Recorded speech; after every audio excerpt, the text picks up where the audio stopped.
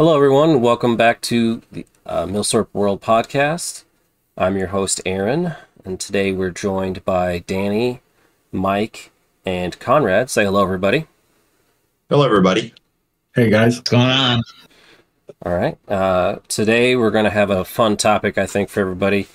Uh, but uh, first, before we do that, we have a couple of things to get out of the way. Uh, Conrad is a new member to our podcast. He's a member of our Patreon, and as a result, he gets to get on the podcast. Um, remember, you can join our Patreon for as little as one dollar a month and get into our Discord. Do a good selling, huh, Danny? Uh, yeah, yeah, good sell, good sell, good sell. Uh, and then we'll also get into our recent acquisitions. Uh, but Conrad, as we uh, tell everybody or ask everybody, uh, what got you into military surplus, and what was your first military surplus firearm? So, way back 2009, I was in a sophomore in college, and basically, I I know about you know from Call of Duty and all that stuff at the like the original Call of Duty and stuff like that at the time. So, and I'd love World War II forever before that. But my buddy went to some antique store outside my college in Brockport and bought a 9130 out of a crate. And he showed it to me in his car because he couldn't bring it in the dorm, obviously. So I was like, that's something you can just buy as like an old World War II rifle. So he said, yeah. And I said, well, let's go get another one. So I drove down there and bought my first one. Mine was actually way more expensive than it would have been at the time. Mine at the time was like, I think I paid them 175 bucks. And like most places, it probably was still a hundred dollar rifle. But that was my first one. And I collected Mosins for probably mm, up until around like 2017, so almost like eight or nine years. Yeah, yeah, 9130 is a gateway drug, man. It was for a lot of people. And I still, I do still have that one. I I've kept that one all these oh, years. Oh, I don't nice. think I've shot keeping, it. Keeping the original. Five years. Starting to. You sent up. You sentimental like that, or just kept it because it's cheap? And I up until 2020, I'd never sold any of my rifles, so I'm pretty sentimental, I think, to be honest. All right. What is your most recent acquisition? Uh, I got it right next to me. So it is, of course, it's a Japanese rifle. It is a Toyo Kogyo 35th series Type 99 long. So it's one of the ones that's uh, same length as a 38. Um, what makes this one special is it's still got the mum, which for this particular rifle, it's kind of hard to find it on the 35th series for some reason. It is 95% um, of the value. It is 90. We'll get into all get that. that. out of the way. Yeah, we should just get that out of the way up front here. Mum is mum is 95% of the value. And then the other maybe 4%, 5% is this original monopod. So the original yeah, monopod on, on the original monopod on the 99 long is uh it's pretty hard to find. They're they're a little bit longer than the short rifle one, and you'll that's what you'll usually see when you see these at auction is guys who threw a short rifle monopod on there, but they use a different hookup for this too. So usually you'll see them missing the the springs, and that's a pretty good sign right there that somebody added that on later. But yeah, I got that last week, so my other one will be going up for sale at some point soon. Nice. Did uh, did you get that online? I swear I saw a, a 99 long rifle with the monopod. Yeah, so somebody somebody posted that on uh, Gunbroker. It was just Arisaka Type 99, uh, starting bid like 700 bucks or something like that, and nothing. He didn't know what it was. He was selling it for some guy, and um, I messaged him that night and said if he would do a buy it now, and he ended up calling me. He was in Oregon and he ended up calling me and we talked for a while. And he's like, well, let me figure out if I want to do a buy it now. I got to talk to the guy. And uh, I made him an offer. And the next day he emailed me and said a bunch of other people had also wanted to do that. So he put a buy it now on there and I just grabbed it immediately. Oh, yeah.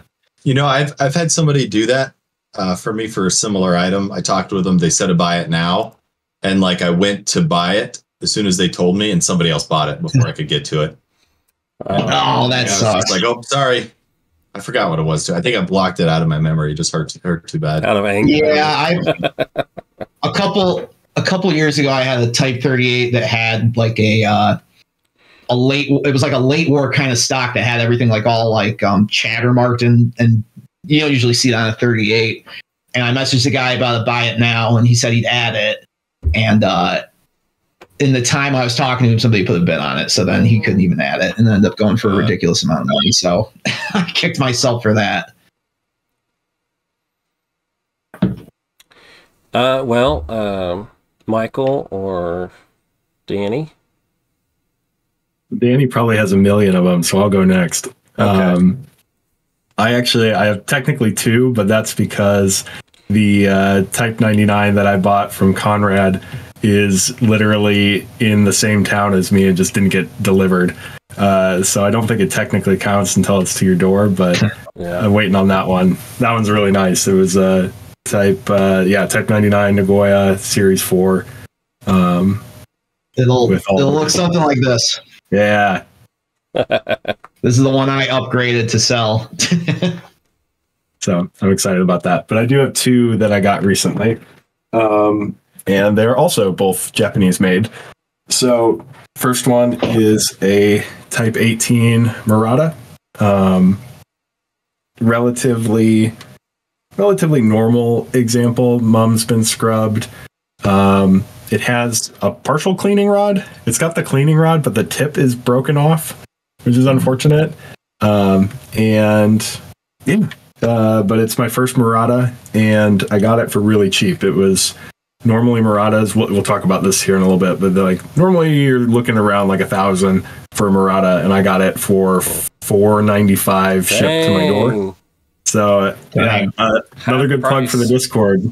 Somebody uh, somebody just posted it on Proxibid uh, on our Japanese thread and said, "Hey, I'm not bidding on this. Anybody else want it?" And uh, we all kind of watched it for a bit, and then I threw a few bids on and I picked it up. So I'm really excited because uh, it's an old older one and didn't have uh, didn't have a Murata yet. So that's the first one, and then second one I've been hunting for a long time to try to get one at a good price, and it's a Siamese Mauser. Um, Hey. I uh, I find the kind of pushback against colonialism, the history of the Siamese Mauser, fascinating. Uh, and I had the chance to buy one about a year ago at a gun show for two twenty five, and the guy had negotiated a bunch of stuff, uh, other stuff that I had bought from him too. So I bet he would have even dropped it lower than that. And I was like, oh, let me just do a lap around the show, and should have should have just pulled the trigger because it was gone when I came Oh. back. And so that's just Yeah. like stuck in my craw for like the last year. And so I've looked It's at Danny's number uh, one tip on uh, the gun show Yep. tips and tricks, right, Danny? Yeah. Just don't walk away. Yep. So I broke I broke the rule and uh, and paid for it. So I've just been on the hunt recently. It's one of those things too where like it's a relatively cheap gun. Like usually you see these in the 400 ish range. Pretty much. Um, but for me, it's like, ah, man, I could have had it for 225. So I don't really want to pay that much more than 225. Uh, and so I just just kept passing up, you know, guns in the 350 to 400 range. Um, but I walked into a shop and I saw it uh, mostly modern stuff, but then this was there, and I was like, oh, I bet that's going to be either a crazy, stupid high price or a pretty low price. And it was low. It was marked at 300. And I asked the shop owner, like, hey, have you had that for a while? It was like, yeah, I had it for a long time. And I was like, perfect. Uh, so we went back and forth, and I got it for $260 out the door That's pretty nice. So- Oh, nice. nice. not bad. Um, it's got everything. Uh, it's got the sliding dust cover, um, second contract, so it's got longer tang and the one piece stock. The replacement tie Um, stock. Yep. Yep. But super interesting. Getting one. It's, a one of second those guns contract stock, but is it a second contract receiver? I think so. Um, If you open that dust cover up, you can see if it's uh, what's the mark on the arsenal mark. I can't see it. You're, it, you'd have to tell yeah, me yeah, what it yeah. looks like. I just stabbed. It's uh, the. Uh, Does it look like an Yoshikawa. upside down? Does it look like an upside down question mark? um, I'm gonna go grab my recent acquisitions real quick. no, it's the it's the Stacked cannonballs. Koishikawa. Stacked cannonballs. So maybe it's. Yep, yep. That's a first receiver or first contract Okay. receiver. Yeah. Most of That's them, interesting. when they got put into the tie stocks, they replaced them with the the, the updated version. Gotcha. Nice. Well, I learned uh, learned something. Yeah, because I, got- saw the, the So, so I uh, the only reason I know all this stuff about it is I got uh, one from uh, Simpsons actually uh, that was stupid cheap. It was like three hundred dollars, and I got it delivered to me, and it is a type or a um, first contract rifle, but it still has the first contract stock, which is apparently very hard to find. Um, it's not a two piece stock; it's a one piece stock, but it has the note the short tangs. Uh, and then I got ended up putting a bid on a gun broker for another one just out of fun or whatever, just thinking I wouldn't buy it, and I got it for three hundred dollars. So Yeah. I have a con- first contract and a Sunkit contract rifle. they're interesting. the The details on them are pretty good, and well, they it uh, lines up perfectly with what we're talking about today too. Yep, exactly. And uh, they just published Bonsai, the Japanese collector group, just published a whole bunch of books on Kindle, and one of them is a book about Siamese Mausers. Oh, they and re- they bucks. finally published that one. Oh, yeah, yeah. So pick that up because it was really helpful. Yes, for Um, anybody listening, that is a very good book. Um, the the one person that I got most of my information from is Patrick. Uh, he's a big French collector, but for some reason he's really into Siamese stuff too. Um, and uh, he he has a lot of inside information I've, that I've spoken to him about. Uh, he's been to the Thai arsenal. He was in the Air Force and he was stationed in Thailand, so he's actually been there in person to see it. He's got actual surplus ammunition that he uses to shoot with, which doesn't exist. I've never seen it uh, outside of his collection. Uh, and um, people always ask, "Where's the the cleaning rod and the dust cover?" Because it has a tr- butt plate in the dust cover. Uh, he actually asked the Thai Arsenal. They don't know. They just disappeared. they don't know what happened to them. All of them have have them missing. They're all gone. Um, it's possible they were stolen for scrap, uh, but it they're all missing. Uh, so the you can get a reproduction uh, cleaning rod though. I don't remember where, but a guy makes a reproduction one. Hmm. Um, but um, they're really neat, um, and uh, re- like you said, the the history of Siam and eventually Thailand uh, uh, being the only country I think in that area of Asia to not submit to a foreign power ever. I don't think right. They that's one of their things is that they never submitted. Uh, but even the closest is Japanese in World War II, I guess. But even then, I mean, they were still independent. Yeah. True. Yeah. I guess mainland area, I guess, would be my example there because all the other air- countries in that area at one point were governed by a European country at some Yep. to some degree. I think it's also fascinating that the the Siamese Mausers are Japanese uh, produced and then sold to Siam. I think that kind of Yeah. export, but export from an Asian country pushing back on Western colonialism to another Asian country. Yeah, we'll, pushing we'll back probably on get Western into it when we get to it in the Yeah, we know. thing. We know Japan are really big anti-colonialists. Well, so we'll, we'll uh, probably so get into me. it when we get to that point in the uh, discussion. I don't know if we'll probably talk. We probably won't talk very much about the Siamese rifles themselves, but Right. but uh, that contract allowed Japan to do something very interesting. yeah. Yeah, absolutely. All right, Danny, what uh, what'd you get?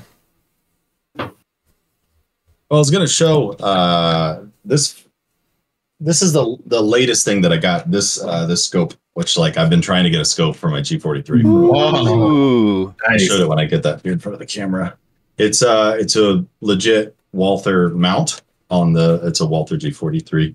Uh, and then a nice uh, cold weather ZF4 scope on it. It's got the little like uh, rubber lens piece and then the little sunshade on the front. So it kind Oh, of makes it look longer. But I've been wanting one of these because it just it just makes the rifle kind of pop.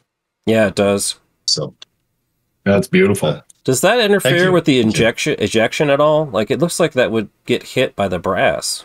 Uh, it does. You know, I, I'm I'm guessing it it doesn't. Um, because the so the if you look at like the extractor, Yeah. it's kind of at this sort of angle. Okay, it doesn't go up. more off to the right. So no, no, it doesn't eject up. It kind of ejects um, more Mm. out to the right, um, which is why they eliminated that uh, this guide guide rail on the on the right side of the early 43s.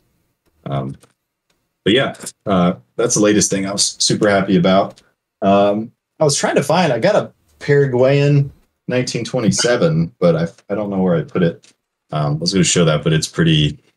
It's a you could kind of look it up what it looks like. Just a, it's a Mauser, but it's it's kind of neat. I'm going to do an episode on it eventually, but it's I, I can't find any great sources other than like what people say like on gun boards.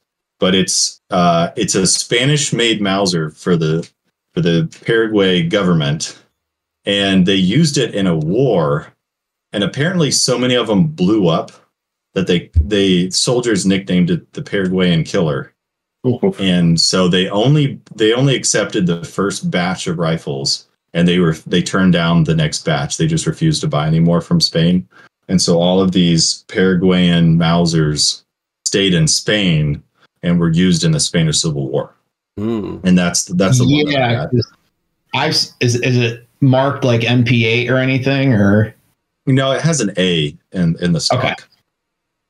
so I've seen a few that have because I used to collect mostly Mosins, but Spanish Civil War used Mosins, and so I I've read about all the different stuff. I had a website on it at one point, but yeah, you seen with the I've seen at least one of those with an MP8 mark before, which is pretty cool.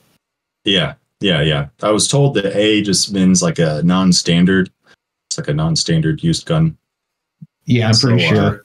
So I got that. Those are not super common in the U.S. So uh, I don't know if it counts as like South America if it never went to South America, uh, like it was meant to. But um, and then I guess this is most pertinent to the uh, to the episode here. I've still been trying to take a picture of this, uh, a better picture of this for you, but like this room is like a mess.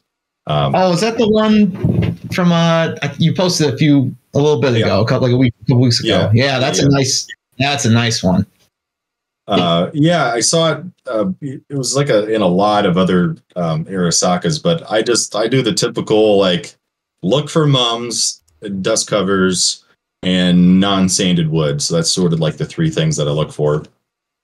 And um, yeah, the sling being on it is is kind of a, a, a neat bonus. And it's this is the Mhm. rubberized. Uh, What is it like a rubberized canvas or something? But it's just yeah, so that's that's going to be on there for forever, more or less. Yeah, it's like cemented in place pretty much. Uh however it was. But the big the big Yours looks good. I here's the one that came on mine. You can see it was in an attic because it is. Oh, okay. That's what they look like when they haven't been stored nice. Yours looks like it's been stored really nice. Yeah, uh, overall it's not it's not too bad. Um I, sh- I was showing this to a couple guys and uh like Japanese collector types. And the first thing a guy looked at me like, "Oh, that shouldn't have a dust cover."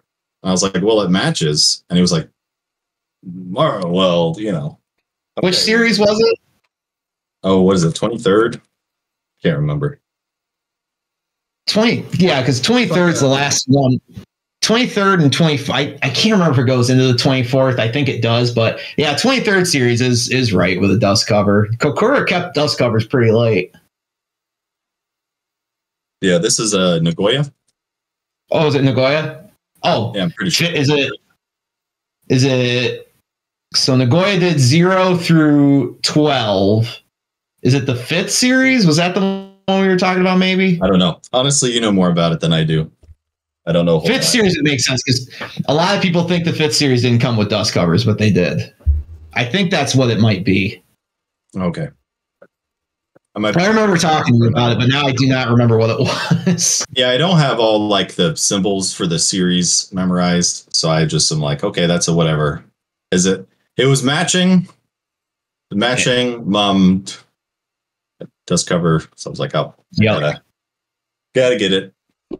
So yeah, it doesn't have like uh you know, it's not that um, quick release um, cleaning rod. the screw in, kind of screw in one. screw in one. Yeah, that's that's a if it's Nagoya, that's a fifth series then for sure. And uh, it's staked. Screws are staked.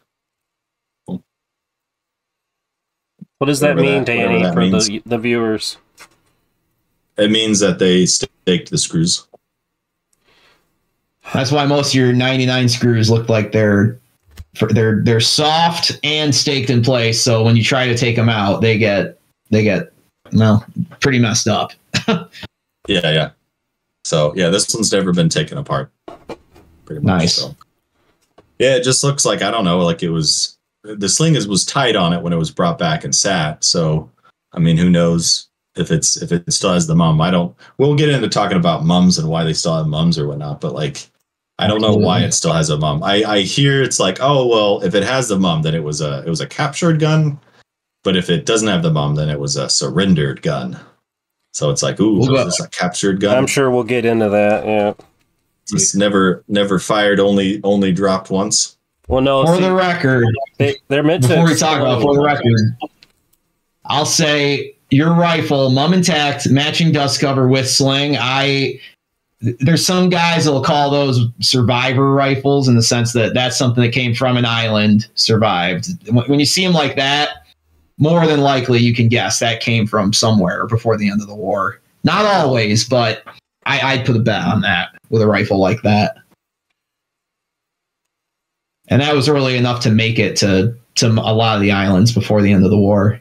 If you see like something like a, a late war gun that's like that, eh, that's a little bit more sketchy. But something that early definitely could have made it somewhere. Oh, okay. I at the gun show today, I saw a a last ditch Nagoya that had the mum, and the guy was asking like seven hundred bucks for it.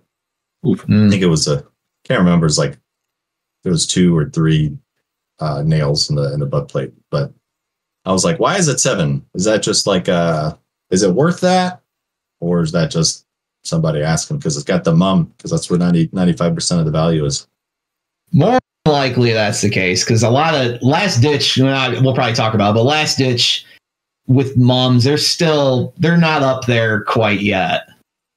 So I'm thinking somebody just saw mama. I mean, d- depending on the series, some of those late war rifles are actually kind of hard to find with a mum because so many were in Japan, never to be issued, that most of them ended up being ground. So some of those last ditch rifles, like for me, one of the toughest ones to find was an 11th series Nagoya with a matching or uh, with a mum. That took me probably four or five years to find one because so many were in Japan that finding one with a mum is kind of hard. But obviously, we'll talk about the mum stuff later. Yeah, yeah. Cool. What, Aaron? You got any? You get any new M95s? No, I haven't. Uh, I've been having some uh, t- financial situations going on here. Uh, so I've not been able to purchase anything. I was hoping maybe I could pick up another one from RTI, with one of their sales, but I don't think that's going to be a possibility. Um, what sales they got going on? Well, they did have like... uh, $150 M95s.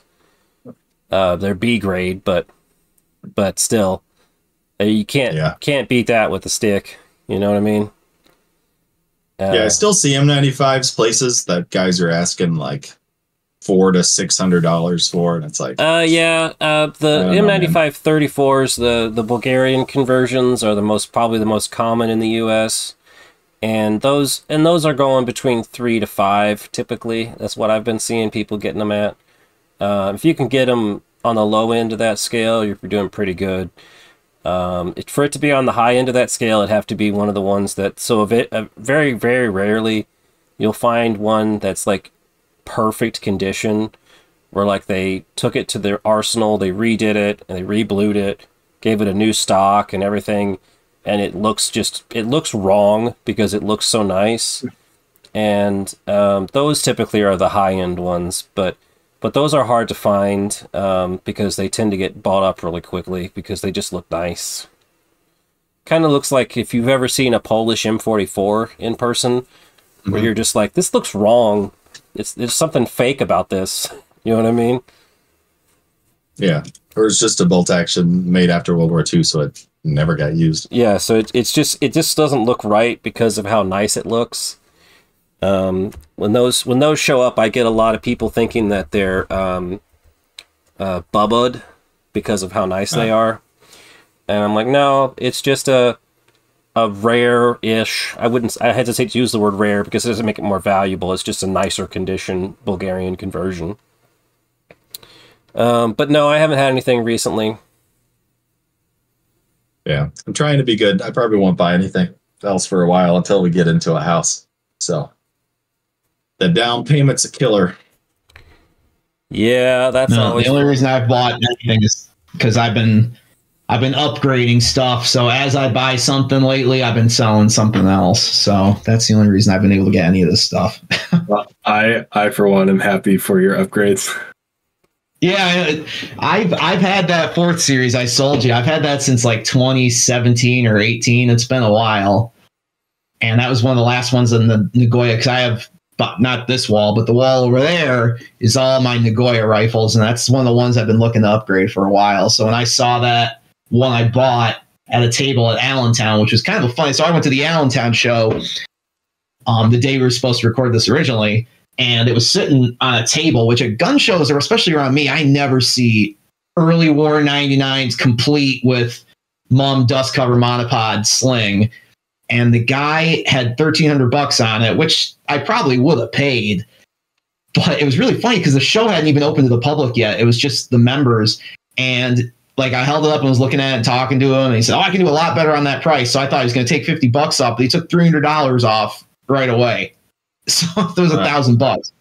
And I didn't even ask him to, which I was just like, so I wonder what he has in it if right off the bat he's going to he's, take 300 he's bucks got off. fifty bucks in it.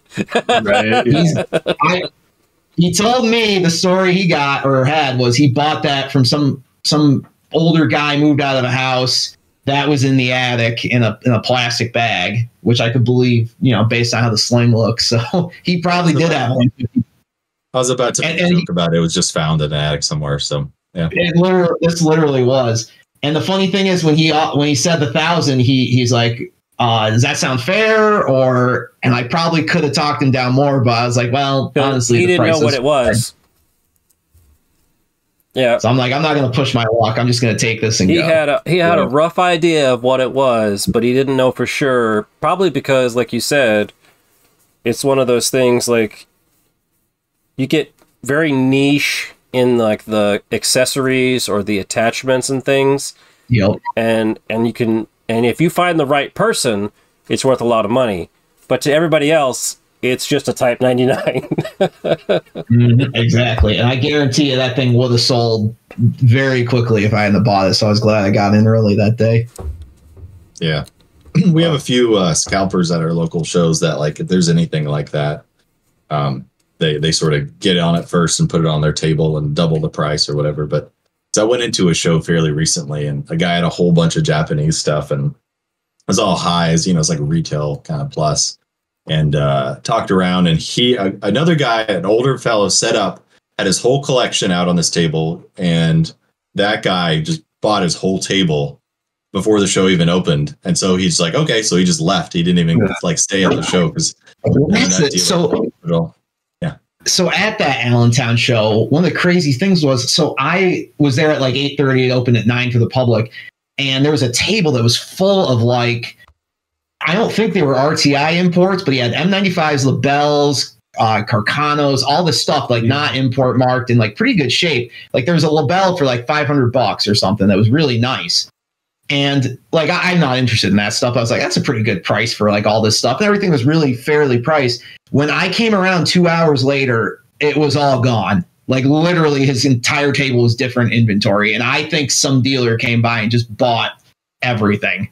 Cause I, I can't imagine they'd all be gone within two hours. But yeah, every rifle on it, it was nuts. yeah, yeah. I think as prices go up too, it's starting to happen more. And some a weird thing is, is like uh, at some shows, dealers look at it like there's the show for some dealers isn't to sell as much it is to buy for their inventory. And they get a little desperate for inventory, I think, and they'll buy even at like higher than uh, like what we would think they would want to get in on stuff prices. And uh, they just, you know, charge a little bit more on their website or whatever. But yeah, stuff gets stuff gets eaten up like that. And I'm I'm like growing, I'm I'm having a growing disdain for certain dealers that that just ended up, you know, getting all the good deals like that uh, before before shows. But yeah, that's that's a, really the main way to get deals at gun shows now is to somehow be a member or get a table so that you can get in early and find it first. Yeah. That's usually what I do. I especially at that Allentown show, I they were one of those only shows in my area that do um like free display tables because they they have a judging you know thing where you can get a table for free, Cool. do a display, set it up, and you'll win something usually. Uh like last time I think I won like 400 bucks for just Wow. doing a display. That's, That's pretty awesome. nice. That's pretty cool. That's like a last Yeah. ditch. Yeah. Right so it pays for my drive and hotel and stuff and and um you get in actually you get in even before the dealers do. You get in at like 11 a.m and the dealers come in at like 1 and uh basically you're all set up and then you just start walking around and you find whatever you want. So that's usually what i do. Most of the shows besides that one i have to actually buy a table do a display and you know you still get in early. But they don't always those ones are harder because they don't always pay off if and you know if you spend hundred dollars on tables and then you don't even find something really worth picking up or getting any leads or anything on stuff Yeah. but that's that's the best way to do it in my experience Yeah. It's hard to start out in the hole like that. But yeah, I just displayed for my first time at the Missouri Valley show here. And I want to start doing that uh, more. That's pretty fun just to set up a little show and tell and Yeah. get to talk to people about stuff that's and once people once people know that like especially with i've noticed just with me guys will especially even dealers will bring me stuff that's japanese related because they know i collect it. And once you've done it because i've been setting up displays probably for three or four years now. And just from that i've gotten so much stuff just from Yeah. setting up like that. Some rare rifles i wouldn't have gotten otherwise because they weren't going to bring it to begin with but once they knew i was going to be there they they start bringing stuff so And it's definitely what, worth getting into that's what Danny says all the time. If I ask him if he's at a show, if there's M95s, and he says nobody brings trash to the gun show, and uh, uh, it- Or, uh, it, he's not wrong. They're not worth a lot of money, so people don't bring them. If if you're going to lug all that shit around, it makes sense. Unless you're there to sell your collection, you're not going to lug heavy shit in that's not going to sell for a, a decent money. So if you have limited table space, yeah, you yeah, bring he's higher not. dollar It's not wrong, and and and M95s aren't the only one. It's just the one that I care about. But there's most of the time at the shows, you're going to see the stuff that's considered expensive because it's it's worth more for the dealer to bring in shit that's going to sell than it is going to be to sit there and look pretty. So that's the Yeah, unfortunate. find that. that's right I love I love going to gun shows, but I very rarely have luck with dealers. I would much rather have just one guy selling off, you know, some random hunting rifles, a few shotguns, and then like one milsurp on the table. That's where I've gotten most of my deals, where it's just like, Yeah. oh, a matching Type 14 for six hundred dollars. I'm gonna buy that. Um, yeah, you know, it's just like where Yeah, yeah. Where you just you just got to get lucky one time for one gun at one table in a show and it's totally worth the admission price It's how I Yeah. recommended people going to to auctions. When I tell people don't go to a gun only auction yeah unless you're willing to not get something. Go to auctions where they have like a bunch of other stuff and then maybe like 15 guns and then you're very much more likely to get stuff because you got people there that aren't buying guns. And at a gun only auction, they're all there to buy guns. So and you'll s- sometimes you'll even get people that get pissed off about uh, something else that nothing to do with you and they're like, "Well, fuck it, I'm going to get this one at least." You know, so I've seen that happen. Yeah. And the nice thing with the Japanese rifles, especially, is that because so many guys brought these home and then just left them sitting around as a souvenir for all those years and don't care about it. A lot of times when you see estate sales or auctions or stuff like that, a lot of times the one gun in it is a Japanese rifle. Yeah, It just sat there. you're not wrong. Yeah, yeah, they're pretty. They're pretty common to to see, especially last ditches. Like you tend to always see one at a at a show. Um, yeah. All right, well, speaking uh, of the devil yeah. Speak Yeah. of the devil, let's transition into our actual topic for today. So we are going to be doing a series like this. Uh, I really like the way the German series, uh, the German uh, topic we did last uh, time with Chris went. Uh, so I would like, and I talked to everybody about this, and I think everybody agreed.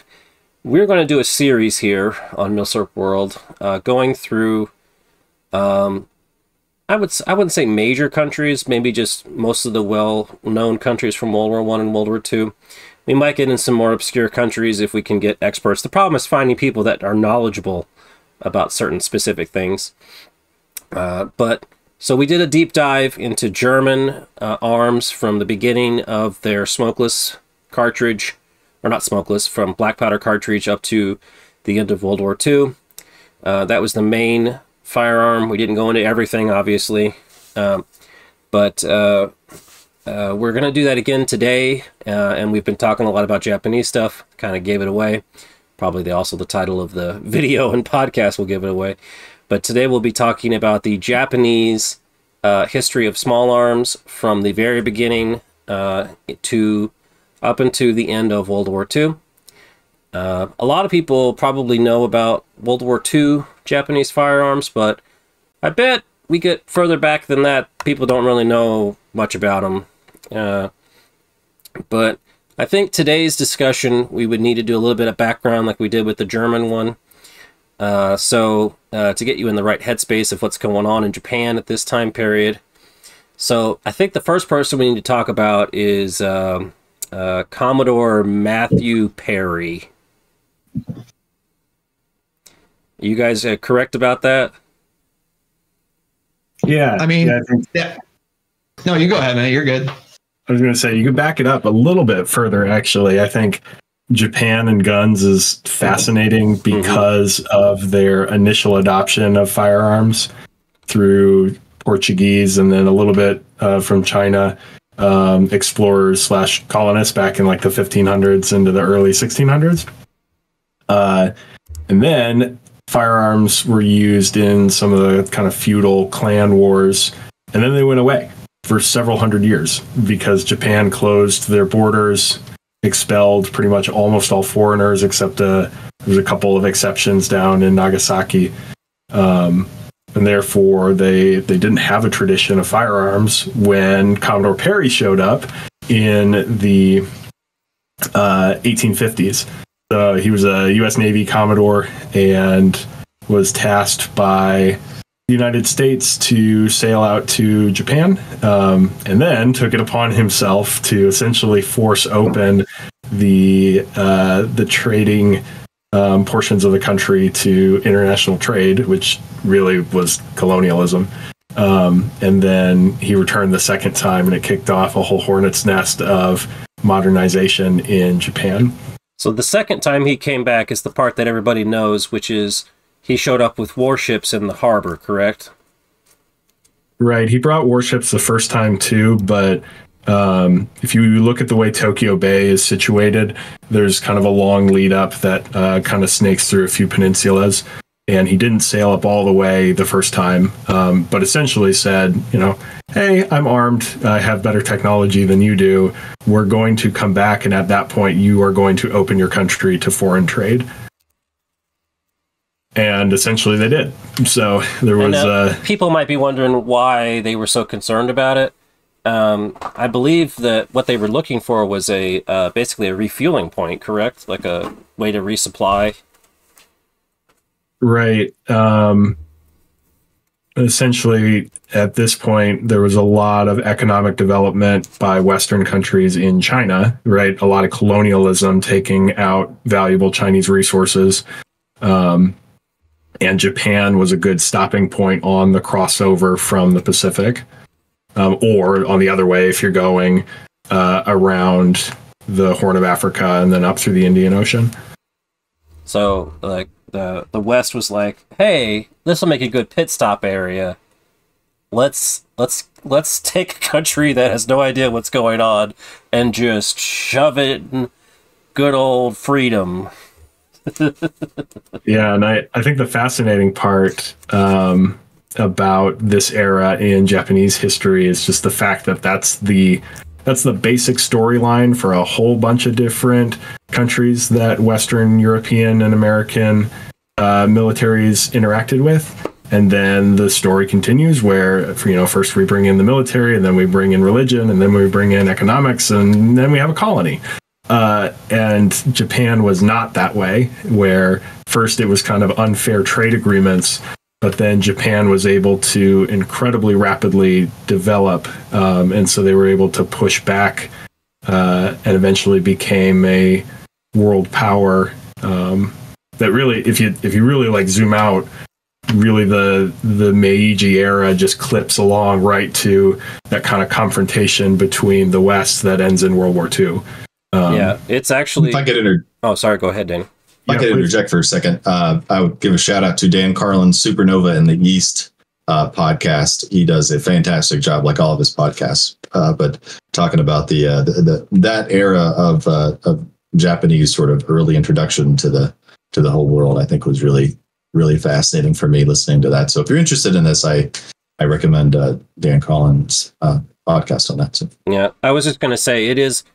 I don't think people quite understand. Um, I have a little bit more insight into this because I I do work for a Japanese company, so I do see I do interact with people from Japan quite a bit more than the average person. Um, so I I, have, I do know some more stuff about their history, but it is um, uh, quite fascinating that essentially you go from a country that, like you said, was basically a feudal peasant country uh, to a country that is taking on the United States in in about a hundred years. And you're like, what? What the fuck? like, yeah, and even, yeah, I mean, even if you think about it, it's even even less. You go from the 1860s to to 1904 where they're beating the Russians. So like yep, almost forty something years, which is pretty. That's really crazy compared to any of those other countries in the region. Think of not having a firearm in 1980 and today being able to take on a superpower and win. I think and right not having a fire a firearm is a little bit of an oversimplification. I, I think um, that the I think 1900 Japan could take on modern Russia.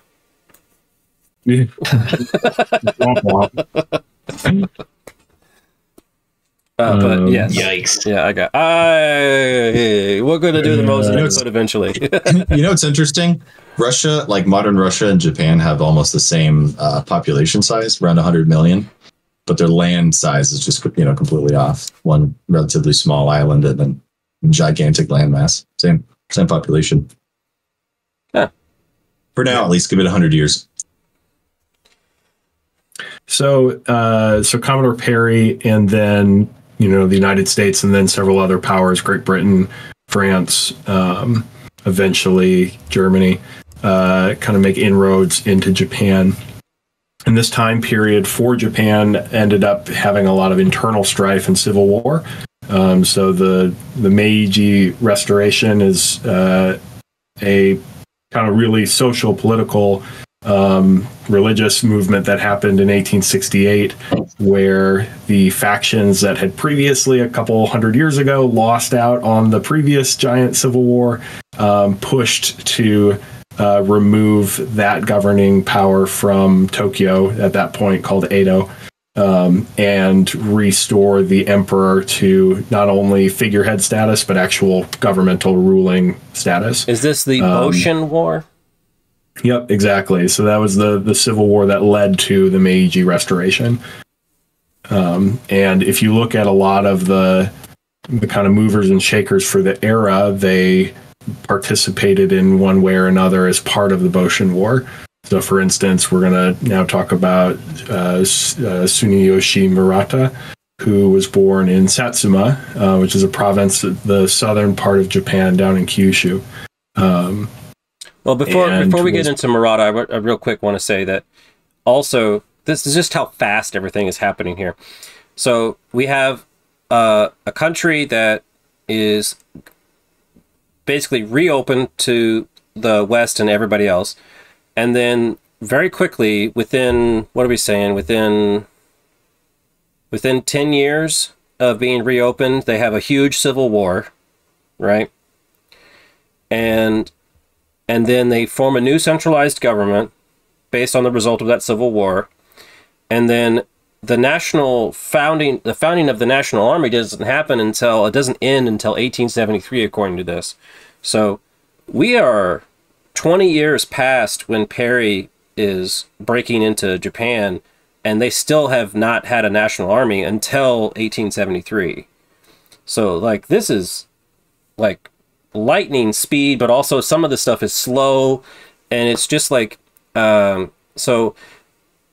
A lot of people might because we talked about Germany and it being like separate countries and everything like that. A lot of Japan is also similar in that like a lot of the regions don't like each other still. and this is a result of what you were talking about, like the different factions um, that. So a lot of the regions still don't like each other. So to get a, like a centralized grouping uh, like this is is quite um, uh, I don't know. I would say miraculous in that time period, and um, so like you said though, we're talking like matchlock rifles. I think what we're talking about, right? To go to um, now, before we get into Murata, they're using Right. uh, what were they using? So um, I think this is actually a great place to pause and talk books for a second. Um, so there's a Japanese collector group called Bonsai that's still um, in print, and they uh, they have a collection of books that their various authors just published on Amazon Kindle. Um, one of those is Japanese imported arms of the early Meiji era, um, and I think that's Francis Allen, right? Did Allen write Can't that? one? remember who that one is. I think it is Francis Allen. That's the title for sure. Um, but this really kind of depicts all of the various Western arms that were imported into Japan during that first 10 years, 10, 20 years, while Japan didn't have a domestic produced modern firearm.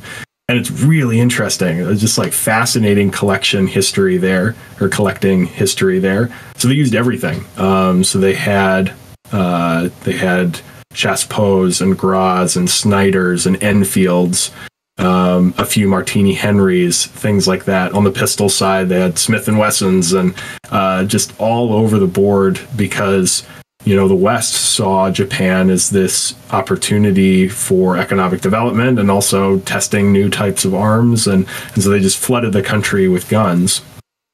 Um, and Aaron, like you were saying, there wasn't a centralized, um, standardized weapon that the army was using, and so each of these different pocket groups uh, purchased and used their own, you know, whatever their their ruling government got the best deal on, or whatever they liked to use.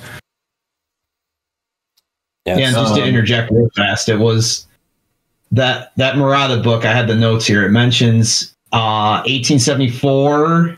They had to register. Basically, they, the the centralized government wanted to register all the guns in the country so they could figure out what they had. Uh, it was 180,000 uh, rifles they had in the country at the time. Yeah, and that's Of from those guys we're just talking about. and that's from close to zero. You know, fifteen years or twenty years before. Well, that's Another still good book. that's still a tiny amount, a tiny amount compared to like a, a national army level of, of small arms. Right. Yes. Right. And and so that's the other thing is right. If you look at what weaponry was used here, there was a lot of close hand to hand combat. Um, a lot of swordsmanship was was still done, and that's a, a whole separate fascinating area of collecting that I'm I'm into a bit is Japanese swords, some of which use Western style um, mountings for them. I assume a fair Uh, bit of, of archery as well, right? Yes, some I, I would say less, less, but still, but still some. Cavalry too, I'm Um, assuming. hmm Another good book for this period is called Giving Up the Gun by Noel Perrin. Um, it talks about that kind of Japan adopting firearms in the 1500s and then going away from them for a few hundred years and then adopting them again. Um, so that's a that's another good good resource. Ooh. And then another one too that now we'll jump into is uh, the Japanese Murata rifles, um, 1880 to 1897 by Stanley Zelensky. It's another one of those bonsai books that's on Amazon, and it's ten dollars on Kindle, and it's awesome. It's really really good, and I think just all of these books published in the last literally like two months is incredible because most of these were published 10 years ago in very limited run copies and so you can get one on ebay for you know 200 bucks uh, now you can get all of them for you know 10 bucks each it's a really Yeah, it's a really great resource, guys. I really recommend if you're looking at it because a lot of this stuff, like you said, was published once for like 250 copies and then never published again. Yep. So Murata was born in Kyushu, um, so southern portion of Japan, um, and that was one of the two clans that pushed back and ended up restoring the Meiji Emperor to uh, ruling status. Um, so he was interested in arms development and then actually fought in the Boshin Civil War in the army from Satsuma and was an incredibly good marksman. Um, so his career continued in arms development while uh, Japan centralized their army. And then in 1875 and 76, he went over to Europe, as many uh, kind of leading Japanese did, to really study what Western Europe and America had to bring to the table that Japan could emulate, and then again, kind of push back on this colonialism. So he looked at uh, arsenals and factories in Great Britain and Germany and Switzerland and France, um, and studied the Beaumont and the the Gras rifle in particular. But he advocated that Japan not just adopt uh, a foreign rifle and buy hundreds of thousands through a contract, but instead develop their own domestic uh, rifle and then produce it domestically as well. And that led to the Type 13 rifle. So that's the, the first of the Japanese produced official domestic uh, firearms. Did you have that? Do you have that quote, Mike, about what he said? Yeah, that was a great quote. Give me a hot second and I can find it. Um, yeah. Conrad passed me some notes here when we were going to do the show the first time around. Um, yeah, so this is uh, this is uh, here we go. Okay. The morale and reputation of the National Army were at stake unless it used weapons made in the country itself. Hearing this, Murata finally realized the necessity of inventing Japan's own guns. Uh, yeah, domestic yeah. production is a is a pretty big deal. You see it kind of repeated um, through the world, you know, through the world, and like kind of developing nations or specifically nations that are trying to like get out from under uh, colonialism. Like uh, Egypt in the fifties is like an example of that. That was really they were really trying to get their own domestic production, and they out of desperation, sort of they they got with the got the Hakim. But uh, yeah, I think Japan is a very interesting case of like there's a there's a picture I saw of uh, Japanese like samurai at the pyramids at Giza. Yeah. Because they they had it's so interesting that they had like the openness and they're you know because kind of culturally and everything not not everybody is so open to like learning and changing and they seemed uh, like they were open to learning and figuring out how to better themselves and you know educate themselves and like I feel like ways of doing things. I feel like they were one of the few, with the exception maybe being Siam, that that saw the writing on the wall, um, as far as how the West was treating the rest of Asia, and we're like, oh shit, we got to fix this fast, um, and and uh, I mean they perhaps had the the better resources, not necessarily just judgment, but better resources to make that happen. Um, but like you see what happened with Indochina, French Indochina, and then um, uh, Korea and China and everything like that. And I think everybody kind of just was like, okay, yeah, we don't want that to happen to us, so we'll figure out the best way to do this. And and but yeah, you do see a lot of pushback, you know, like the time period, like we were talking about, where um, a lot of people felt like it was destroying traditional tra- Japanese tradition, and the J- Japanese are all about tradition, all about tradition. And it, it, there was a lot of pushback, and there still is a lot of pushback about what to be accepted yeah. in Japan. It seems to me that they have an interesting blend, though, of seeking technology and making things better, as well as like embracing tradition. So, like, you know, they're they're really like they have crazy toilets and like a lot of technology in the home but also certain things are very traditional and you do it this way because it's the best way. way so there i think it uh, culturally it seems it's, like a it's a weird mismatch really like blend. you said because like dealing with a japanese company uh, if you're in japan and you're dealing like with japanese businesses they would prefer to deliver something in person and look at something uh, on the in hand like a uh, via like paper versus uh, using an email um, they they would much rather fax something than it would be to send an email. Um, so like it's it's a weird there's a weird dissonance between what Japan is known for, which is the high technological stuff, but like the way they run and live their day to day life is much much lower technological uh, level. Um, flip phones um, are much are very popular in Japan still, just because they're really cheap. Um, they're not touch screens, just just flip phones. So it's just like it's it's a weird mixture of culture, like you said, because like it's it's like you said they they embrace the technology, but then they also don't in their own lives. You know what I mean? Yeah, and I think too they have uh, there's like the opium wars going on in China, so Yeah. like I'm sure they know all about how a smaller, you know, less population, smaller country from halfway around the world was able to you know fight the opium wars and kind of essentially uh, control you know most of China and be able to get what they want. And uh, I'm sure that kind of serves as a warning of like you know needing to embrace technology and kind of uh, you know stand up for themselves. Yeah, Um, and it Like, because by 1894, they were the ones doing that to China. Mhm. So, Yeah, yeah. some somebody mentioned just how you know it was a little bit of a controversial standpoint to embrace this kind of modernity and take on Western arms and Western military training. Um, we talked about the Boshin Civil War that preceded the Meiji Restoration, but there was a whole series of little conflicts and civil wars that happened after the Meiji Restoration. I think the most fascinating one to me is the Satsuma Rebellion. So the commanding general Saigo Takamori, who restored the emperor in, 19, in 1868 was uh, from Satsuma, and then he eventually fell out of favor in the national government um, due to his rejecting modernity. So he returned to Satsuma and then started a rebellion, not against the emperor, but against the emperor's government. Uh, and so, tying this back together, Murata, also from Satsuma, but part of the army, was a commander of a sniper unit in that war where they put down Saigo Takamori's rebellion in 1870. What is it, six? 77 or 76.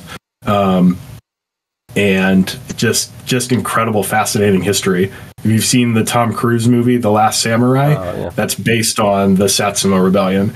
It's super Hollywoody. It's got a lot of cheesiness, uh, but I love that movie because it just it gets at that time period and just the fascinating mesh and tension of not only West and East meeting together, but then internally within Japan, just the struggle to figure out what's the next step and what's the best step for the country going forward. Yeah. Yeah, and it seems that the side that kept winning was the side of, you know, moving moving forward with you know technological and other other advances. Right, right. So let's talk Um, about the Murata itself, the Type 13, I believe, right? Yep. Yep. So uh still single shot, uh breech loaded black powder rifle. Um it's very similar to a Gras and Beaumont, Uh, but and good again, old 11 millimeter. Yeah, yeah. what is it? Uh 11 by 50 53 It's another one of the thousand Let's see. 11 millimeter 60. cartridges. 11 by 60 rimmed. Um, and so, yeah, produced uh, domestically, and it resembles the Gras and the Beaumont a lot because Murata studied those abroad, but then he made improvements to it. So, removed the bolt head. Uh, there's a V type spring inside the bolt handle. Um, and actually, it was interesting. The book uh, on the Muratas talked a lot about the development of the spring because initially coiled springs weren't able to be developed yet with the technology Japan had. And so they were worried about, hey, let's build a gun domestically, but then we won't be able to produce the parts. And so we'll have to go to foreign powers for the parts. Um, so they used a different, Murata used a different type of spring and came up with that. Yeah, that's really interesting. you wouldn't think about like being able to make a spring being like the technological impediment of a Yeah. infantry rifle, but yeah, that's that's neat. Um, another similar problem that they had was ammo production, where they could they could get the rifles up and going, but they couldn't. Uh, Japan wasn't able yet to get the rifle or excuse me the ammunition going, and so they contracted with Winchester in the United States. Uh, had a subcontract for 10 million rounds of the uh, of the 11 by 60R, and then um, also some of the machinery. Although I'm, I'm trying to remember if the machinery was for this contract or if it was a later later uh, the Type 22. But but yeah, had a partnership with Winchester. So um, other things about the Type 13. Um, they they have mums, um, but they're often canceled or scrubbed, similar to some of the older type Arisakas that you see, um, primarily because they were in Japan at the end of World War II and therefore um, had the same treatment as compared to you know like a bring back off the battlefield like we talked about earlier, which actually has its mum intact. Um, and a lot smaller, a lot smaller yes. too compared to the later ones. They're tiny. Yeah, yeah yeah, really small. Um, uh, smaller production numbers as well. So there's about 65,000 uh, rifles produced. And they came with a sword bayonet. So the bayonet is 28 inches long. Uh, oh. has a, yeah, yeah, it's, it's pretty wicked. that's already uh, uh, what a six foot long rifle, five foot long rifle to begin with. Yeah, I think about five. I, I don't have the measurements of the rifle written down. I would like to see a picture of a Japanese soldier standing with the bayonet attached with the rifle beside him. Yeah. Um. Oh. The uh, the bayonets are pretty expensive too. Um, you see them once in a while. Uh, they have a mum as well on the hooked quillion. Um, they're usually they're like seven hundred to thousand dollars, and that and that's all the different types of Murata bayonets. So if you if you find a old like at an antique store like old Japanese bayonet and it's not the later Type 30 bayonet and it's not seven hundred dollars, you should probably double check that it's actually a Murata bayonet and then you should buy it because it's they they get really expensive. And then and we should of, say hold on we should say when we say type and um, the the number so the number relates to mm-hmm. the year of the uh, Meiji reign, right? Correct for during this area, right? Guns. Now it gets real. Yeah. It gets real confusing. we'll kind of touch on. We'll that. touch on that when we get to it, but for these. Muratas in particular, it refers to the year of the 13th year of the Meiji dynasty. Yep, correct. Okay. And, and that's and similar that to how uh, Siam does their na- uh, naming as well, their naming conventions. Mm-hmm. And so, right, we talked about the Meiji Restoration, which happened in 1868, but the Meiji Emperor began his reign in 1867. So, type 13 is 13 plus 1867 gets you to 1880 when this was developed. So, um, so it looks so for, like looking at uh, Wikipedia, we have the regular Type 13 rifle. Then there was a, a cavalry carbine. I'm assuming those are very hard to find, if not very rare. The yeah, the, the Type 16. Type 16. There's no there's no known examples in the U.S. and it's not an official designation. So they're really like there's debate about whether or not it actually existed. Okay. The Type 18 has um, has carbines. So we have a Type 18, and so what's the difference between the 13 and the 18? I'm assuming they're similar, right? Yep. Yeah, yeah, really similar actually. So, so the 18 is the next official designation. Um, there's some differences where they have a longer tang um, and additional longer screws uh, to to tie the tang into the stock. Um, and then the the quickest way to identify a Type 18 uh, which is what I have here. I've got to have it upside down. Sorry, because I don't have room on that side to point it. Is these two screws right here? The Type 18 has these two screws in the stock, but a Type 13 doesn't. Um, and those two screws are on the left side of the gun to secure the bolt into the receiver. Is that a safety um, feature? Um, not so much safety as uh, equipment preservation. Mm. So Murata had uh, improved upon the Beaumont and the Gras by adding an extractor, but the extractor isn't internally captive in the bolt. Ah. And so you actually, that's actually a collecting piece is that if you're going to buy one of these, double check that it has the extractor because so often they take the bolt out and the extractor would fall out. And so on the Type 18, the improvement is hey, let's make sure that the bolt doesn't come out because if the bolt comes out, then we lose the extractor. And then you have to get more replacement parts. just And to then- chime in, one of the things with the Type 18 was I, from what and I'm not an expert on the Muratas or anything, but I know Winchester, um, Winchester actually, they provided tooling for the Type 18, and they actually made modifications to it themselves. Um, that the Japanese didn't end up using. I don't remember what the modifications were, but they're the Japanese ended up going with the the screws on the side of the stock. But Winchester actually made their own modifications originally that the Japanese didn't end up using. Um, another kind of zoomed in differences is the gas deflector plate on the back of the bolt is different, and then the bayonet attachment is uh, slightly different. Um, bayonet for the Type 18 uses a 23 inches long bayonet, um, so five inches shorter than the Type. Much type more 13. reasonable. Yeah, Yeah, big savings there. still, still two feet. Um, and about 80,000 Type 18s were made. Um, they use the same serials, and almost all of the kanji markings on the receiver are the same, except they've replaced Type 13 with Type 18. Um, so you got to be on the lookout, and actually knowing it can work in your favor, where somebody will just see it and think, "Oh, that's a Type 18," but you know that it's got those slightly different pieces and it's missing the screws on the side. So, oh, actually, this is a Type 13, and it's a little bit more rare. Um, so pricing on Type 13s and 18s are about the same. Um, they're about a thousand dollars on each. Um, like I said, though, uh, just be on the lookout because you can find good deals if, uh, for whatever reason, if if people don't know what it is, or they mislabel it, or they just got it at a, a gun show or gun store. I got mine for just under five hundred dollars to my door. It sounds like a fairly low production, uh, but it doesn't sound like they.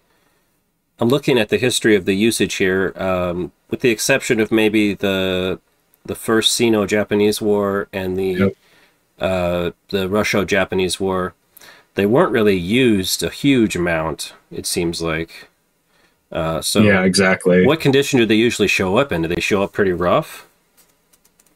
Um, I would say generally mismatched. Um, you find them. It's much more difficult to find a matched Murata than a non-matched. Probably due to Um, the age. Yeah, age, and then the fact that oftentimes because this time period, right, they had some internal Japanese conflict, and then the Sino-Japanese War that you mentioned, so 1894 to 95, China and Japan had essentially a fight over the Korean Peninsula, um, and the Murata, the 18 and the 13 were frontline along with the Type 22 um, that we'll talk about here in a minute. But other than that, it was you know these guns are relegated to the back, and therefore you know they're they're becoming school guns and trainer guns, and uh, show up. I think oftentimes not in the best condition, So I guess our and next. also right sorry, go ahead. they're so old that replacing any parts is just a no is just a no go right like you show up with a cracked stock you're never finding a replacement stock and so it just the gun exists as broken forever I guess our next stop would be the Type 22, then, like you said. yep yep so You should probably say they did do a they did do a carbine of the Oh, Type yeah, yeah. 18 too. These Yeah, are still, still just single like- shot, right? So these are still single shot. yep Type Yeah, one of the one of the one of the big things with the Type 18 carbine is um there is no bayonet mount for it. That's a big one. Um obviously slightly less sight graduations. They only go to 1300 meters. Um and it does have a safety. I think the the Type 18s do not have a safety like the long rifles, but the Type Correct. 18 carbine does have a safety. I can't remember the reason why it does because it's the only one the Type 22 does not. But for some reason, the 18 they added a safety to it. Yeah i don't remember if the type type 22 carbine does but i think it was because of its cavalry usage right you're Yeah. um, you want to be able to deploy your weapon quickly and therefore carry it loaded, but also you're jostling around on a horse, so you don't want to shoot your friends Or shoot the horse. or shoot the horse. Bad day. Um, so there was there was only ten thousand of the Type 18 carbines made. So right, sixty five thousand Type 13s, 80 ish thousand type 18s and 10,000 18 carbines. Um, so then we move Okay. to type 22. Uh, so 1886, the Lebel and smokeless powder happens and revolutionizes uh, small arms development. So Murata uh, saw this, and Japan was no different. Um, so he developed the Type 22 as a repeater, and it's a tubular magazine, kind of like a Kropatschek uh, or a Lebel, um, with an eight round capacity, and it shoots smokeless 8 by 53 Murata. Um, no safety on the regular Type 22 rifles. Um, they have a distinct look as compared to the 13 and the 18 because number one you got the tubular magazine underneath that kind of makes it look um, like a you know twice as wide, A little thicker. and then they have yep yep uh, thick with two c's and then uh, and then they got the checkering there's this beautiful checkering right under the the handguard rece- and the receiver. Um, and uh, not the handguard the the stock. Um, Speaking of handguards on Type 22s, they originally had handguards, but you almost never see one of those today. So if you see a Murata with a, uh Type 22 Murata with a handguard, that's a pretty hard to find feature, and you should consider buying it. Um, you also see way more. I feel like I do anyway. I see way more Type 13s and 18s in the U.S. as compared to Type 22s. Is that your all's experience? Absolutely. Yeah. What's do you remember the production number of the 22? I don't have that handy. Uh, it's 160,000 total rifles and carbines. So about the same, just about the same. Um, but the the serials are intermixed. So uh, there's not a there's not a, a known number of carbines because the serial production um, they just some serials were rifles, some were carbines, um, but a lot less carbines than rifles, obviously. And then the bayonet is now shrunk down to 14.5 inches. Um, so, so I see they're having some shrinkage issues. Yeah. yeah. um, Cold in Japan. It can be. Yeah, it can be. Uh, pricing on these ones. Um, so these are because they're much more rare in the U.S. They command a much higher price. I'd say like seventeen hundred to two thousand. Um, and if you get some of the the extra features, right, cleaning rod, bayonet, handguard, um, if you got the mum, things like that, you can quickly get into the um, you know upper two thousands because again, the bayonet itself is like seven fifty to to 1100 1200 And they did Um, do a carbine of the 22 as well. yep Yeah. yeah five round capacity on that one No bayonet on that one either. I had to double check that. I couldn't remember. oh and no the the checkering on the stock is gone too which is interesting i think that checkering is beautiful Is Like, that similar to of the checkering you'll see on the Swiss Vetterlis? oh yeah yeah exactly like that where it's it's like hatched Yeah. Yeah, that's what always stands out the most to me. Yeah, the checkering. hmm and cleaning rod in the stock for the long rifle. I don't know if it did for the carbine. I'm assuming it did. yeah i don't know that either So it looks like, um, at least I don't know if uh, if you guys can elaborate on this. I'm I I'm I'm going through Wikipedia. You guys have actual documentation and books and knowledge of stuff like this, but it looks like uh, one of the possible reasons why you don't see much of the Type 22s is that uh, the Philippines was trying to buy a lot. Uh, Filipino revolutionaries is what this says.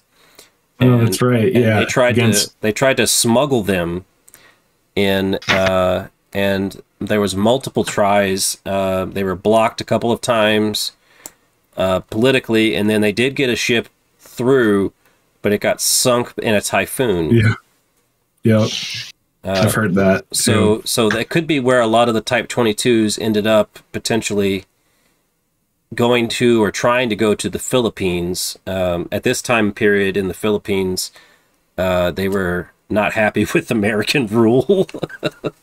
yep Uh, people Yeah. don't people don't remember that war. gotta have your stopping power 1911 develop I don't remember Oh, the, yeah. the Yeah. Philippine American War. That was a big deal. Um, All right. So mm, jumping from And- uh, the Type 22, we go up to the Can I jump? Can I jump in with one last Oh, Murata note? Um, is that there's Murata shotguns um, that are Oh, yeah. you got two types. You got some military guns were converted to smoothbore shotgun and then issued to Japanese colonists in Manchuria, essentially as a like, hey, here's a tool that you can use on your colonial farm to Mm. hunt, um, and then also to you know participate in border skirmishes.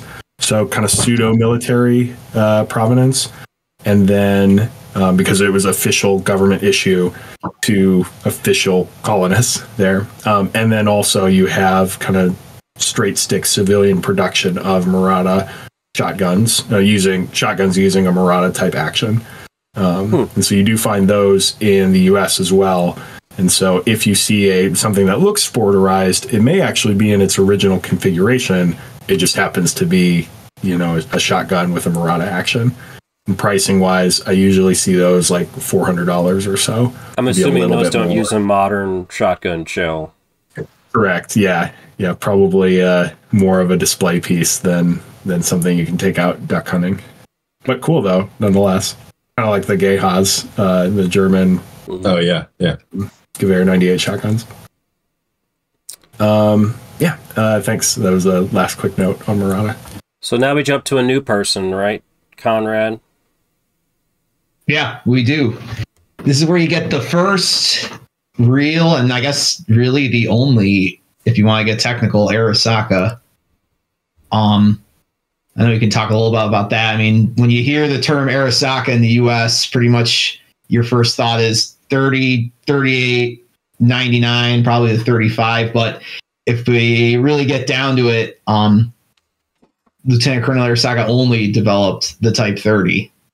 Um, and we'll get into Nambu obviously later, but so by obviously by um if we're going by the the Meiji calendar, we're looking at um 1897 now with the Type 30, and that's going to development starts a little earlier, but by the 1890s, you've got smokeless powder. Um, at this point, the the black powder Muratas are obsolete, and even like the the the Type 22 at that point um, is not going to cut it in a modern era. So, um, Lieutenant Colonel Arisaka started. He was promoted to colonel in 1895, and he started development as um, I guess it was a, a, a commission of sorts. Not like the I'm no I when it comes to the German stuff, I don't know, but uh, maybe kind of like the 1888 commission rifle. Um, 'cause there's a couple folks that were involved in the development of it, with him being the main guy. But the big thing was they needed a new round, which is where we first get the 6.5 uh, caliber uh, Japanese round. So if you look historically at the time, the big countries using that, uh, Italy, Sweden, and again, I don't know much about this. U.S. Navy. You got the the Lee Navy Early for Navy. small caliber. Yes. Um, and that's what the Japanese ended up settling on was that. So the Type 30, which I've got one somewhere here.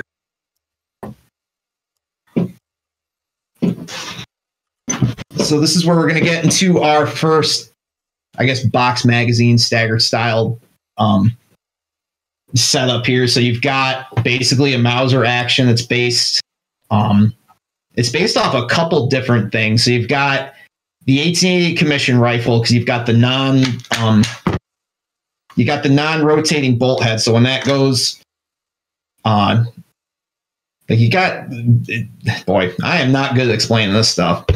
But here's your bolt and um it's similar to that in the sense that once that's in there, it uh it it, it doesn't move with it. So you've got your your locking lugs here, you've got your extractor here, um, and it's got a very similar. If I can get this back in here, you've even got the similar style of bolt release right here. So that's going more into the commission rifle.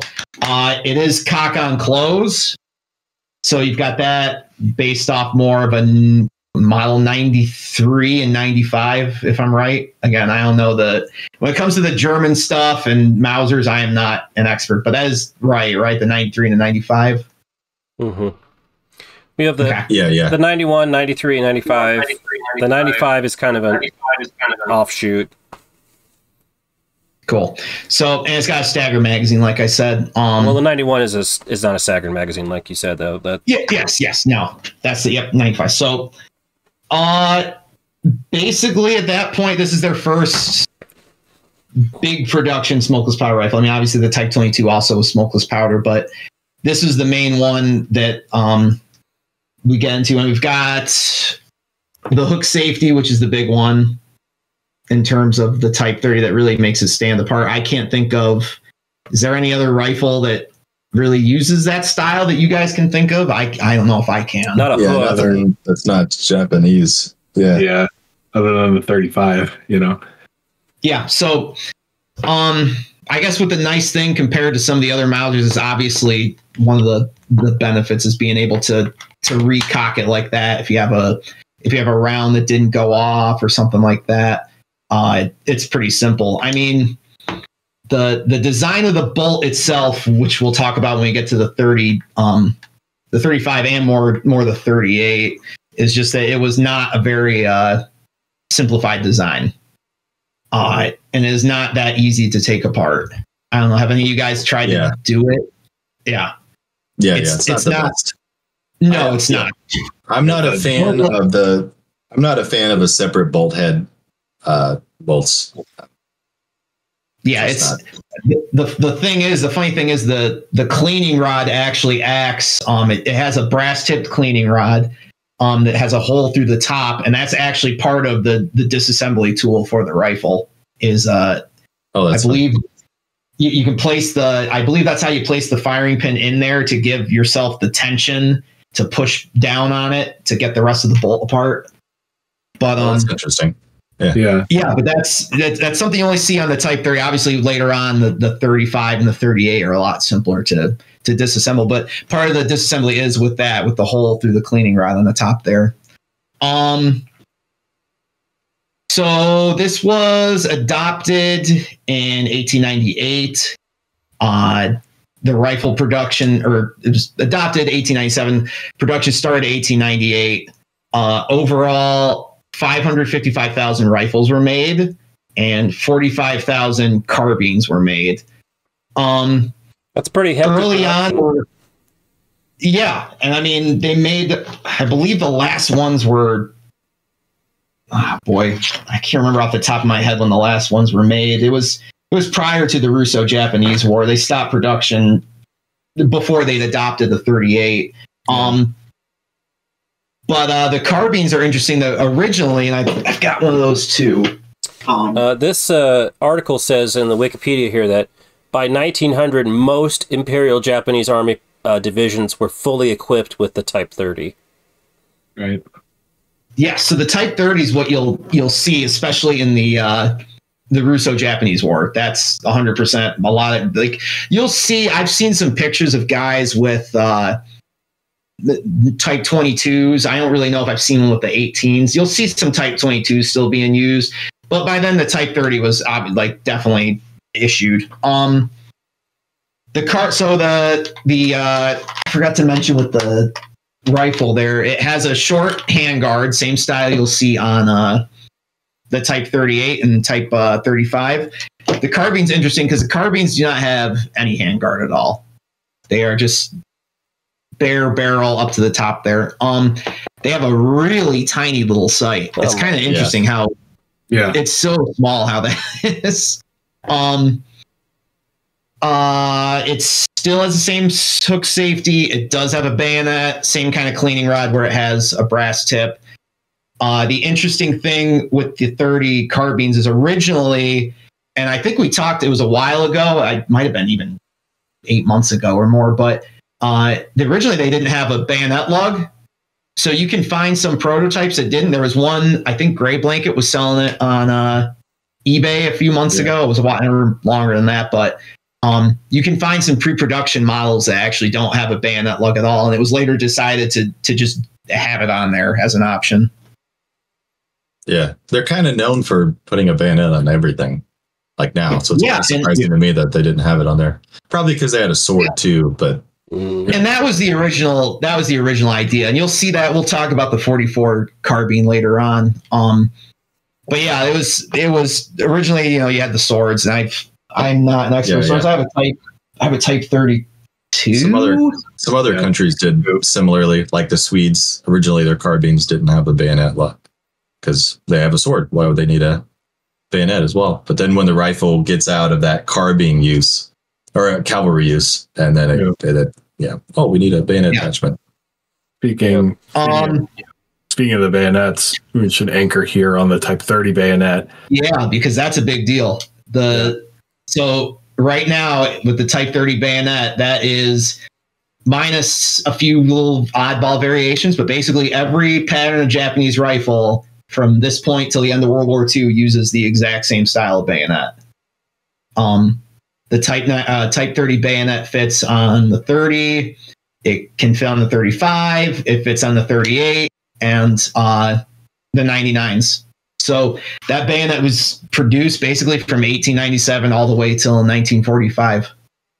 And then also on machine guns as well, Yeah. Oh yeah. Yeah. That's true. Yeah. That's actually a good point. Which is so Yeah. amazing. And Which is another one. I don't know. Do you, uh, again, I'm not a super expert on everything, but is there any other country that really feel the machine gun with or uh, a light machine gun with a bayonet lock? attachment. I don't know. I That's can't really think of one. I think I I think I said this on the last podcast I was on when we did guns and personal finance, but that's how I got into milsurps was uh, that old Tales of the Gun History Channel show, and they talked Yep. about how the Type 30 bayonet was essentially the new samurai sword for the Japanese populace. And as a child, I just loved you know swords and and that uh, that history, and so I was like, oh wow, the Type 44 eventually, man, it'd be cool to have one of those someday. Uh, I remember watching that as a kid, and I I rewatched it a couple years ago, and it is it's a lot of Fudd lore in that Oh, thing, like so a bad. lot. Oh, It's real bad. They basically, despite being like a whole show about you know or a whole episode about Japanese rifles, they they dig on them hard, and they Yeah. just like they basically make the Japanese look like incompetent for going into World War II with a bolt action rifle Yeah, uh, against the U.S. when really like uh, w- there weren't any countries at that point that had really fielded yeah. you know something better, some uh, semi-auto rifles Yeah. at that point. Yeah, I don't think it's a dig to to say, uh, oh, they went into the World War II with a bolt action. It's more of a dig to say they didn't have a mass produced like submachine gun by at least the middle of the war. Mhm. That one, yeah, that's, That's the and again one. when I. That's a pretty wild one, to be honest. And I mean, you could go when you look at a lot of Japanese development of stuff. I mean, how about like with tanks, with um, like I mean, I know that's the the the big meme for Japanese tanks, but like some of the stuff is just interesting what they didn't focus on, what they did focus on. I mean, if you want to break it down, a lot of stuff when you're fighting China in the 1930s, do you really have uh, a push to need a, a tank or a heavy tank or anything like that? I mean, I Yeah, guess yeah. not really. Yeah, their light tank I think fitted their their usage. You know, because Also, you need something like, small to go down streets too. or or yeah, on an island, a light tank is better for yeah, you know, going through trees or whatever in between trees on an island, something like that. And then I'll go into the 99s, obviously, once we get to the AA sights and stuff like that. Right, but right. Should we jump? But, um, on- should we with the? Type 30, another little interesting thing is with the uh, with the uh, magazine bolt or uh, floor plate, you can see it's held. Oh, it's that's got a uh, a wire style uh, uh, spring for the Oh follower. yeah, instead of a like a flat spring. Yeah, Yep. that's and that's something you'll see on the Type 30 and the Type 35. Um, in terms of oh, and probably another big one to bring up that's a big, you know, you'll hear this talked about in in Japanese Fudd lore is the uh, you probably won't be able to see it with my camera, I do see the I the do see type- split. Yeah. yep, the Type 30 is where you start to see the two piece uh, stock. I so- still hear that every now and then. I Yeah. still hear people talking about. That. I've had I've had at least a couple rifles I bought for pretty cheap from guys at shows that say the stock is is cracked. Oh, the, oh, it's it's cracked, so I'll sell it cheap. I'll Let's sell it to you real cheap. Yeah, let's not correct them. Let's let them keep keep I- thinking that. I No, like the- absolutely. Uh, so I like blowing people's minds too because like the Lee Infield's a two piece stock. Right. Yeah. So The it's like- Yeah. Yeah. stock. This is like this is not a weird concept. it's not, and yeah, no. so the idea the idea behind it and it's some it's hard depending on the rifle you're looking at because obviously the wood the coloration everything but if you look at the bottom splice it's going to be directed instead of wood grain going the long way like this it does go at an angle so Yeah, yeah. the idea was to help prevent breakage of the stock which was something Yeah. I, I believe they were having issues with even prior to the time. 30 Every yeah, every nation ever with solid stocks runs into that same issue, and it just has to do with the grain, you know, because you have the grain going sort of parallel with the bore at the top, right? Sort of towards the heel, it's straight and strong, but then going down to the toe, you have that sort of issue where it wants to separate kind of between between the grain. Yep. And so you uh, get so, you so get cracks behind the wrist on the wrist. You get cracks in It's- the butt. yeah. uh, the butt area.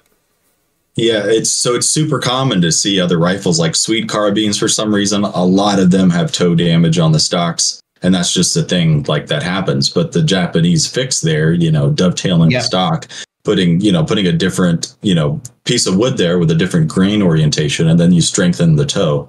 And that's one of the things I really like about Japanese like design, uh, stock design in general, is that they have that sort of tang that reinforces the wrist, which Yeah. is like the weakest point of the whole stock. And then they have that, you know, the dovetailed piece to to reinforce the toe. So you have a rock solid stock, or at least as you know, rock solid as you can really get Yeah. on a, on a bolt action And the- rifle. And the it's held in with a, a dovetail, and then obviously with the butt plate, you've got your top screw here, and you've got a bottom screw here holding it firmly in place. So Yeah. And that um, it uh, was an active decision. Oh, No, you're good. I was just going to say, and and that style of carpentry uh, has a long tradition in Japan where they didn't have. Um, Oh yeah, they don't use nails in construction. They use- Yep, they didn't have Yep. as many uh, as as much kind of modern machinery, kind of like what we talked about, and more access to to natural resources, but they have a ton of timber, or did have some timber, and so the when you're over there, I lived in Japan for a couple years, and you just see all kinds of gorgeous old furniture that incorporates that same type of, um, you know, connecting of different different grains of woods for making strong joints.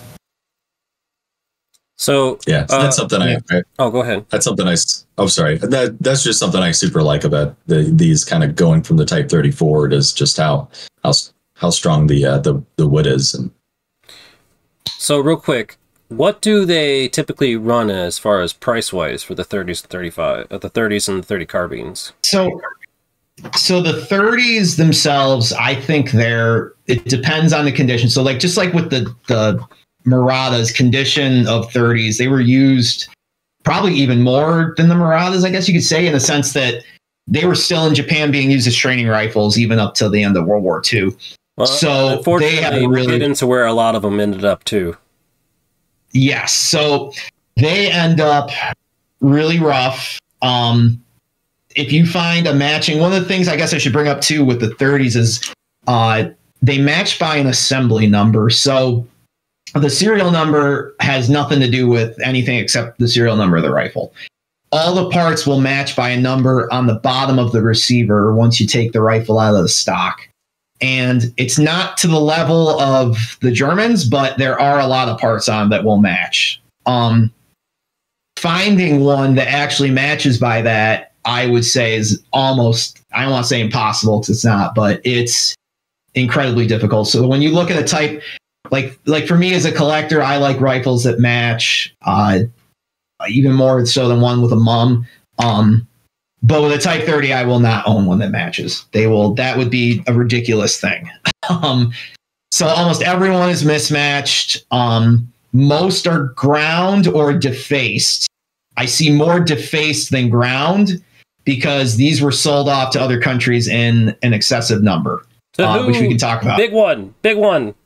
The big one, I can even show you who the big one is because Oh. the 30 I have on the wall.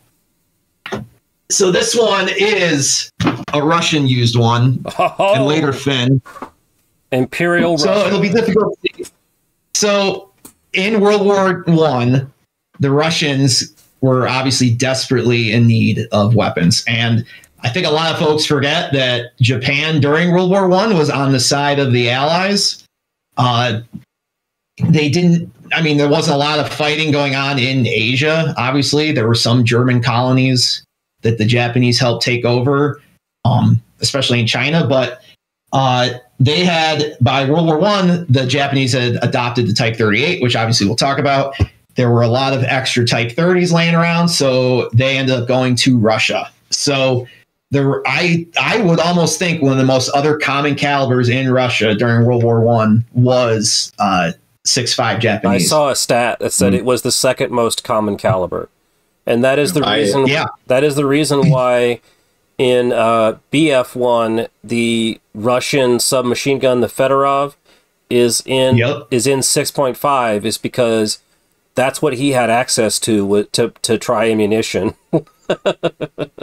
Yeah. Yeah, I- and it was. I mean, for especially for a a a, ri- a rifle like that, it's a good six five would be a good round for it. Much better than much better than Rim seven six two fifty four. Yeah. But uh, in my, but, in my- sorry, in my ammo collection, I own some British made six five Japanese that was meant for uh, for the Russians.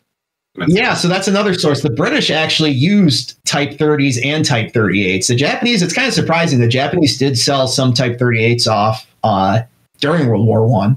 So you can find Russian used Type 38s. They're much more uncommon than the 30s, but you can find them.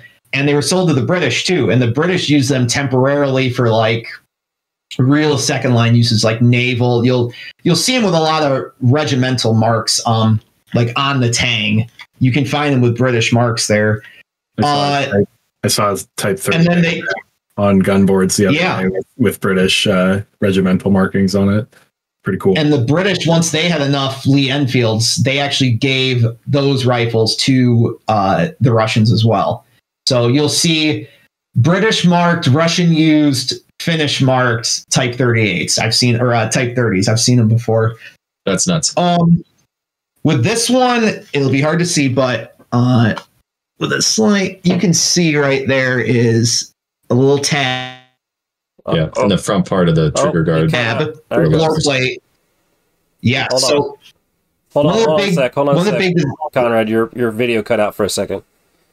Oh, did it? The front it part back? of the trigger guard, yeah, the front part of the trigger guard. We got that. Yeah, so, so that part right there, um, basically that is protecting the floor plate from falling out. So the Russians in cold weather obviously have a big thick glove. One of the bigger design flaws of the Type 30, 35, and the 38 is that that floor plate just pops off pretty pretty easily. Um, so the Russians first toyed with putting a little piece of metal there, and then eventually I can't really show it; it'll be difficult. Eventually, they literally just milled the floor plate release off, and there's not even one in there. So this one actually has both. This has a little metal tab, and the floor plate release is just completely milled off. So, at like, that point, fuck it, get rid of it. it- yeah, that's pretty much it. it. It is a big fuck it moment. Um, that's the big modification you'll see. Uh, the other one, and this will be kind of tricky to see, uh, you can kind of make out right there. Uh, a lot of them will have a civil guard marking um, from from later on, from the 1920s, because these were used in Finland for a while. Yeah, this according Uh, to the Wikipedia these- thing, it says that most of the Type 30s ended up in Finland because uh, that's what the Imperial Russian Army was arming the Finnish with, um, and uh, as well as the Soviets, uh, the Red Finnish Army was armed with Arisakas as well. Uh, Yeah. So So the the original idea with the with the Russians using those was as also as a second line thing, but obviously given the circumstances of World War One, it it didn't always work out that way. So they did issue those also to frontline units. But the original idea was to give it to units like you know in in in Finland. Uh, that's kind of how you see like the Estonians armed with uh, M95 Winchesters, the ones for the contract. Like they were, they tried to give those to to more second line troops and Well, this stuff like actually that. mentions Um, that Finland eventually gave Estonia Type 30s, which they eventually converted to 303 British. Yeah. Yes, I've I've never seen I mean, I, I think I've maybe I've seen one sell in the U.S., but those are exceptionally hard to find. But they did modify those. That's a, that's the one caliber conversion I can think of that because the Russians didn't change them to uh to seven six two fifty four. They did not do that. They just they had so much six five ammunition. But I know the Estonians did change it. We got one more caliber conversion that I know of on Type 30s, but that's post World War II. Yeah, Well, yeah, I know yeah. Of one, and I the- know of one. Um, according to this, well, what does this say? Oh, well, this is. I don't know how true this is because I've never heard of this. This says that Austria-Hungary captured some, and they tried to use That's- 6.5 Mannlicher Schonauer. Mm. Those, yeah, I've seen that did happen because I've seen a rear sight. They, the only, I, I'm not sure because there's not enough of those to have a good example or, or pool to pull from to get ideas, but uh, they did change the rear sight. The Austrians did. So there is a different style rear sight for that cartridge. Um, I've seen a picture of it, but it's, it's one of those things that's just so, you'd have to find it's, it, there's not a lot of ways it would ever got to the U.S. It's almost like it's Like a of that- rare, like, ar- like field arsenal conversion kind of situation where it's like, well, we, what do we have? That kind of thing. Yeah, it's like because the Austrians did a lot of. I mean, not to get off topic, but the the Austrians, like especially with Mosins, I mean, they converted a converted a bunch of those to uh to to eight by fifty, um, which all usually didn't even envelop, which usually didn't even involve boring out the bore at all. just So did- you're shooting converted that. is one way of putting it. It, Yeah, it's if That's because I used the to collect- I used to focus on uh like World War One issued right like captured Mosins by like Germany and Austria. I never had an eight millimeter one, but they'd mark it a certain way. So but yeah, they did that with the type the type 30s too, to a small extent, I guess. It's just one of those things that there's not a lot out there to compare it to or see. There's just not a lot of examples. But um but yeah, so that's one of the bigger one of the other main users of the Type 30 was Russia and Finland. uh, so And Finland the, uh, hold on, uh, before we move on, does that have, I see a hole. Does it have the vent hole like we expect for an Arisaka to have? So yeah, it's got um the two vent holes. You can kind of see right there, two vent holes on the top, um, which is what they used up until the Type 99. So we'll get into that, but it does have the gas relief holes there, um, which was a big thing that they were worried about because you'll see that on all future Japanese, you know, the 30, the 35, the 99, they all have that gas relief hole there. So that was something they actively were um, focused on when developing these. So I Does have that a, have the uh, drain the drain hole in the stock too? So these do not Type 30s do not have any drain holes or anything like that, and that, and we'll get to it obviously, but they have no kind of dust cover or anything. That's another one that um, arises as a result of their use in the uh, Russo-Japanese War. so Is the dust uh, cover becomes a factor? So there's a list here on Wikipedia of the issues that were with, with the Type 30 that was listed as why it needed to be replaced. Uh, yes. This included a poorly designed lock in which excess gunpowder tended to accumulate. Uh, Mhm. When that would ignite, it usually resulted in the burning of the face of the shooter. Uh, often, Never good. frequent misfires, jamming, difficulty in cleaning, cartridge extracting, and in the case of a burst cartridge, uh, it did have some issues with poor gas mitigation, even with the vent holes, is what it says. Yes. So um they did that and that comes when we get to the type 35. There's some changes with the bolt and some other things that try to like compensate for the uh the gas issues. Um Dang, that's a lot of problems. and it was so that's and it was i mean overall i've shot i haven't shot this i have another type 30 i've shot it. And i mean overall the design is it's i mean it's based off of mauser action. It's it's a solid rifle. It does not have it's not like where people talk about the late war japanese rifles. I mean it's a good quality piece. Um but the japanese were not happy with it to start off uh including the Navy, and that's what kind of gets us into the type uh, the Type 35 a little bit. Can we talk? Can we talk trainers? Type thirty trainers, real quick. Yeah, that's a pretty big one. So you've got a lot of uh, guns that were um, removed from service, which is kind of Conrad. You were talking about canceled versus um, struck mums, and so you have a lot of actual rifled, still fully functional Type 30s who were brought out of Japanese military service and then either sold abroad or domestically within Japan, used in schools or military academies to train troops. Um, and then, like, kind of weirdly, there's about 10,000, so relatively uncommon, about 10,000 smoothbore Type 30 trainers. And they've had their receiver scrubbed, so it doesn't have a mum, doesn't even look like it's been canceled at all, just doesn't have it. And then they have the kanji for blank firing ammunition only on there. Um, I have one of those that I ran into at a gun show, uh, and I got it for like I think 185 dollars. Where just like super interesting. I'm not a big, uh, I'm not really that into trainers that much, but you don't see these very often. And I didn't have a Type 30, and so I was like, hey, I'm gonna I'm gonna get a trainer, and then I'll eventually I'll pick up an actual one with rifling. Yeah, and later with the 38s is where you start seeing because I don't think the Japan, as far as I'm aware, because I'm not a trainer expert by any means. Um, there are guys that will collect only trainer rifles, but uh, once you get to the 38s, that's where you start seeing the cast iron, non-shootable trainers. Um, and we'll kind of get to that. But uh, yeah, with the Type 30s, they did bore out the bores on some of them, and it's literally just a smooth bore shooter that's marked as such. Um, but I don't believe they made any specific cast iron purpose only trainers like that. Now, Um, the smooth bore Type 30 is going to blow up if you shoot live ammo out of them. I I don't believe so because those are based. If it's again, I'm not a trainer expert, but I believe those are based off old surplus Type 30s that were scrubbed of all their markings. So technically, it is a, a regular Type 30 that you could shoot. It's got a regular receiver, all that stuff, but it's just smoothbore at that point. So I mean, there's no if you shoot it, it's not going to be anything good.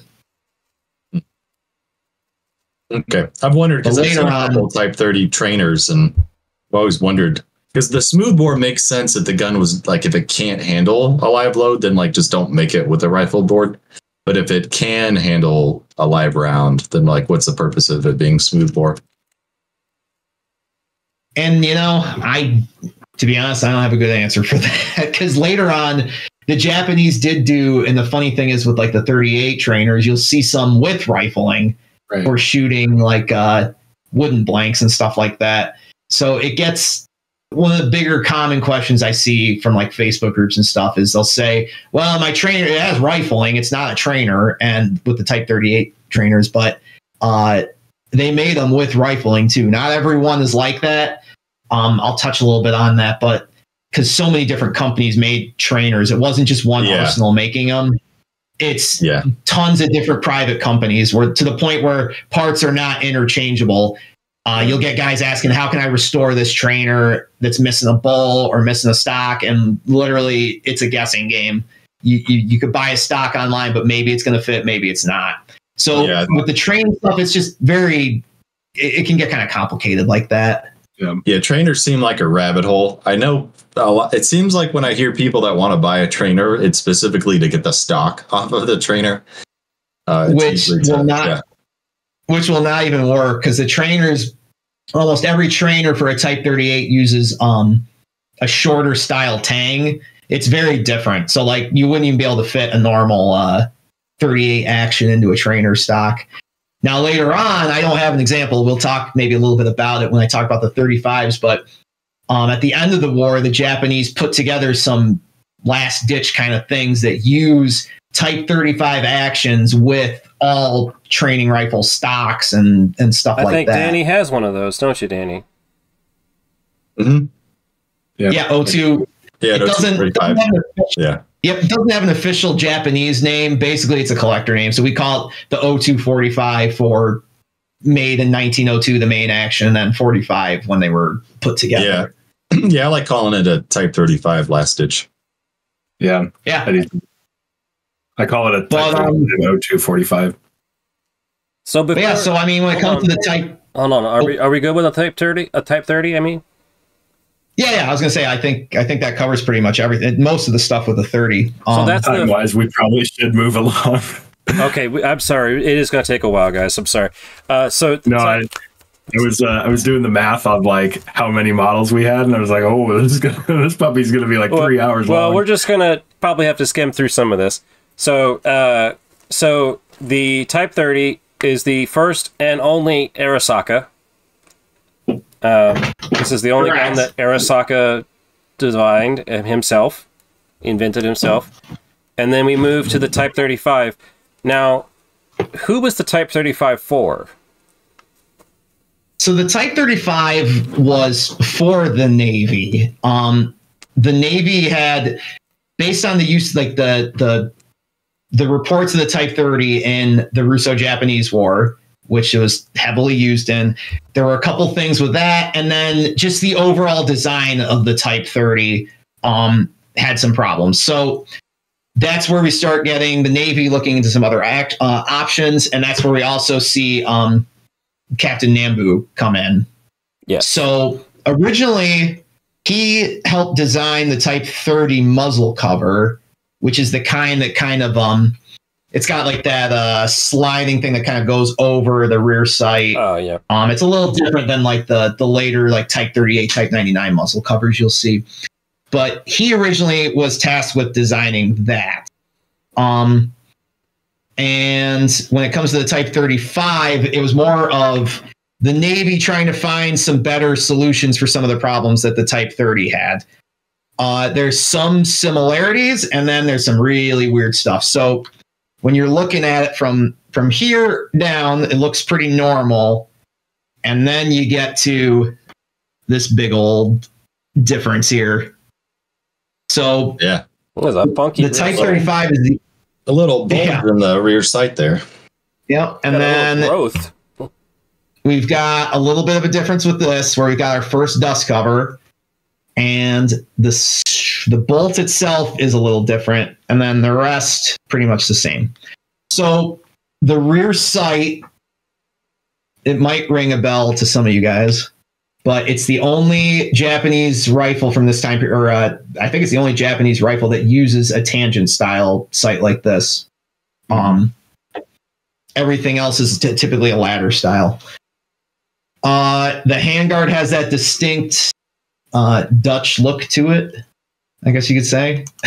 Yeah, it does. Um, so it's uh, what was it 1895 Mannlicher style, Mm. if I'm correct. Yep. Yeah.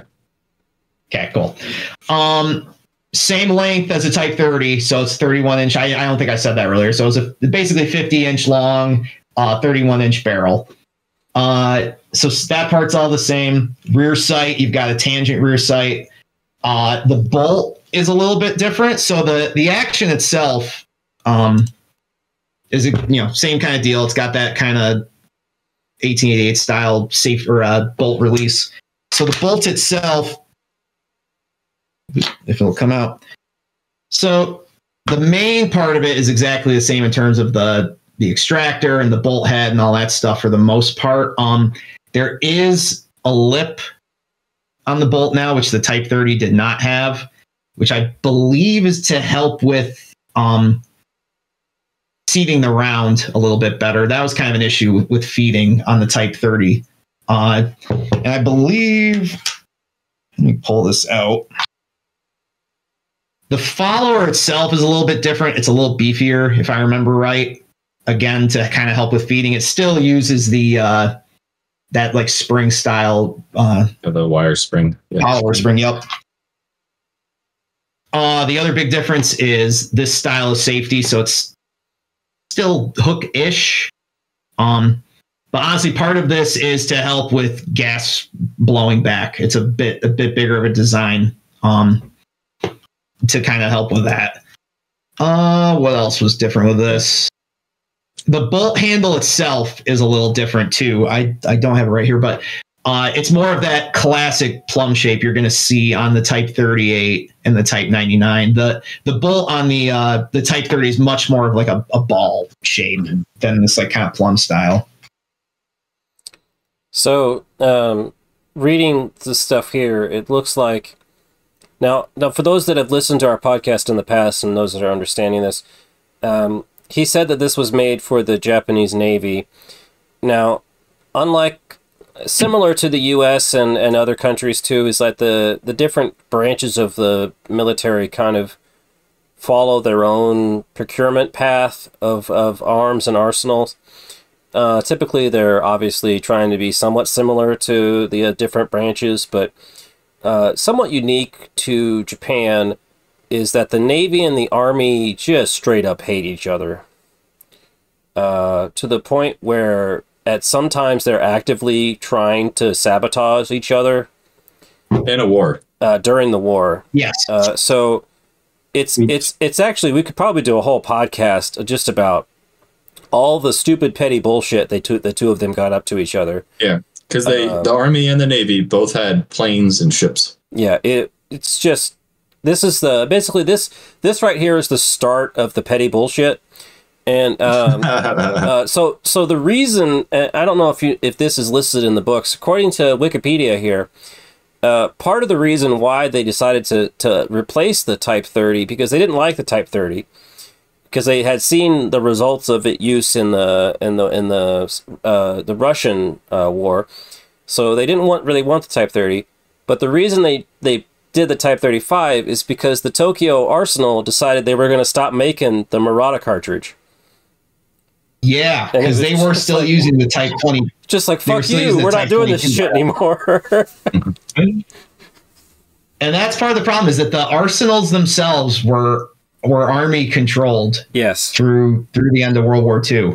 yeah. So Uh, basically, the main this one, especially I think this is definitely the start of the petty bullshit. Uh, definitely. yeah, and, and one of the other things that I didn't I didn't mention earlier is that from all this time from your, your Type 13 till now and through the 38, there's only one arsenal in Japan making these small arms. There is no no other arsenal in the country is doing it. Uh, everything is being made at the Tokyo Artillery Arsenal, um, which is going to come to play here in a little bit with the Type 38. But prior to um, the 1920s, basically, that was the only source you were getting the small arms production in Japan from. So the Navy would also have to get their rifles from that same arsenal that was making rifles for the Army. Um, the other big thing with the Type 35 is obviously the dust cover, which becomes a central thing with Japanese firearms after that. Uh, the big difference is this dust cover does not move with the bolt. So uh, basically, you have to lift this little spring here and move it forward. Now that And at that point, you're. Yes, it does. um, and this will actually, this particular rifle, this particular rifle links back to that. So, um, yeah, the dust cover is does not move with the bolt. It is kind of a downside because if you are in the middle of about to go to combat and you fire your first round and have not moved this dust cover, you are in trouble when you try to chamber another round. And it was something that Nambu himself was never happy with with how it turned out. Uh, he did not like that. They, they wanted the cover. If you look at pictures of Japanese soldiers in the Russo Japanese War, you will see Type 30s with big wrapped around like canvas and stuff around their actions. So it definitely was something that they actively wanted to resolve as a with a rifle design. Now that that's So because this the was- area that they were fighting in was mostly tundra plains, right? So there was a lot of dust. Yeah, Manchur- You're you're in Man you're in Manchuria, uh, a little bit in Korea, but most of this was in Manchuria in that area. So it completely makes sense. With Uh, and it does have Oh, yeah, um, trench warfare. it does have holes. Yeah, and it does have holes in the dust cover for your gas relief, so they line up um, perfectly. in Oh, that there. would suck. Um, that would really suck. you have to have no relief when you when it does fail exactly um one of the big things when buying type 35s which i mean you, there's not a lot of chances to buy type When, 35 when you run into them every week, you know. yeah. Uh, people do replace Type 35 dust covers with um, the Siamese ones because obviously those are a lot more prevalent. But they do not; they're not completely interchangeable. They're slightly different. And they don't have the Um, holes. I didn't know that. That's Exactly. That's sneaky. So they don't have the holes. So a lot of times guys will drill the holes into the the Siamese ones, and they're a little bit. I, I can't remember if they're shorter or longer. It's one way or the other, but basically they don't line up perfectly. So you have to kind of modify it to make it work. Um, have you had what was interesting about what's Have that? you, had, have you had the chance to buy? I guess not just like Gunbroker because it technically everybody has a chance to buy. it, But have you had the chance to buy more than one in person? Like, have you seen? I've never seen one for sale. This is the this is the only one that I've ever had the chance to buy. Um, I've never seen another one at a show. Um, I definitely wouldn't expect to run into it at a small show, Besides that the one you collector showed me shows. just now is the one that I saw that Danny got.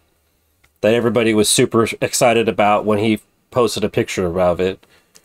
Um, the the Yeah. the Yeah. O245, which was Mhm. basically made at the very end of the war of World War II with whatever the fuck they had on hand. Yeah. So so what's interesting about the O245s is they're not exactly like a, a, a Type 35 receiver just taken like this one off of a rifle.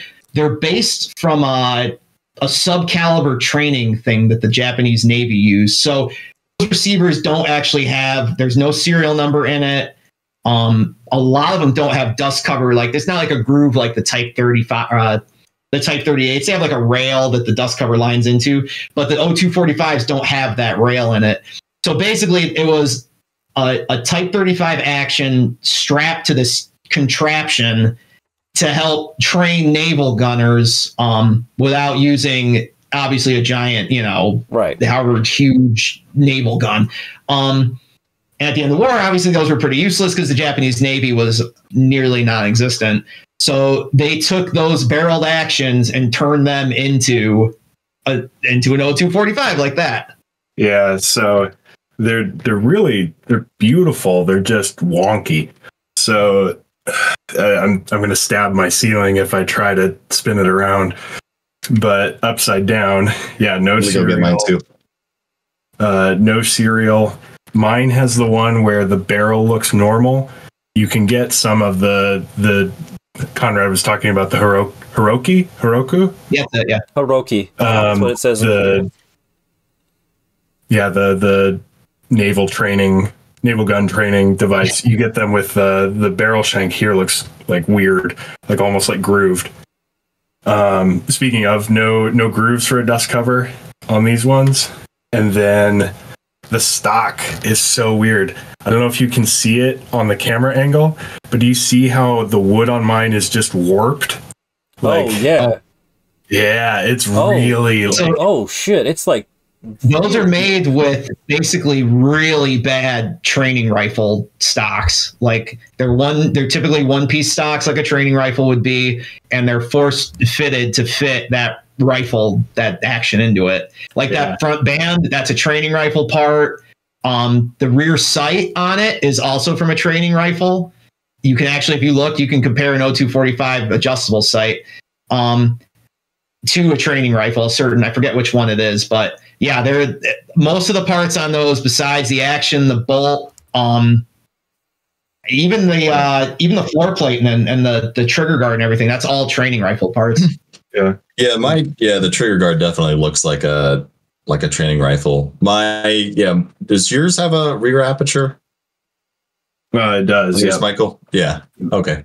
So that's pretty There standard. are Like some- the, There's a few that do use a fixed rear sight too. Those are more uncommon.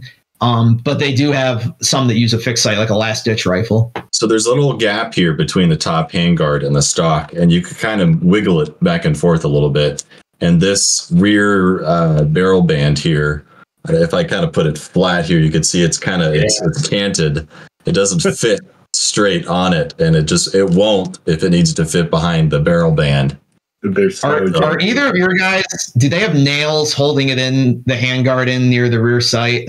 uh, mine does yes Yeah, yeah. That's Yeah, they'll, yeah, they'll have two nails that kind of hold it in because it doesn't really latch into the rear sight base at all. So it's like a training rifle, just like that, because that's how a lot of the training rifles are too. This is uh this is probably my favorite pickup that I've ever gotten. Uh, for sure, Japanese. Um, I got it from a guy selling his Oh, dang. dad's. Is this a machine? Yeah, look at that. That's yep. That's hundred percent right there too.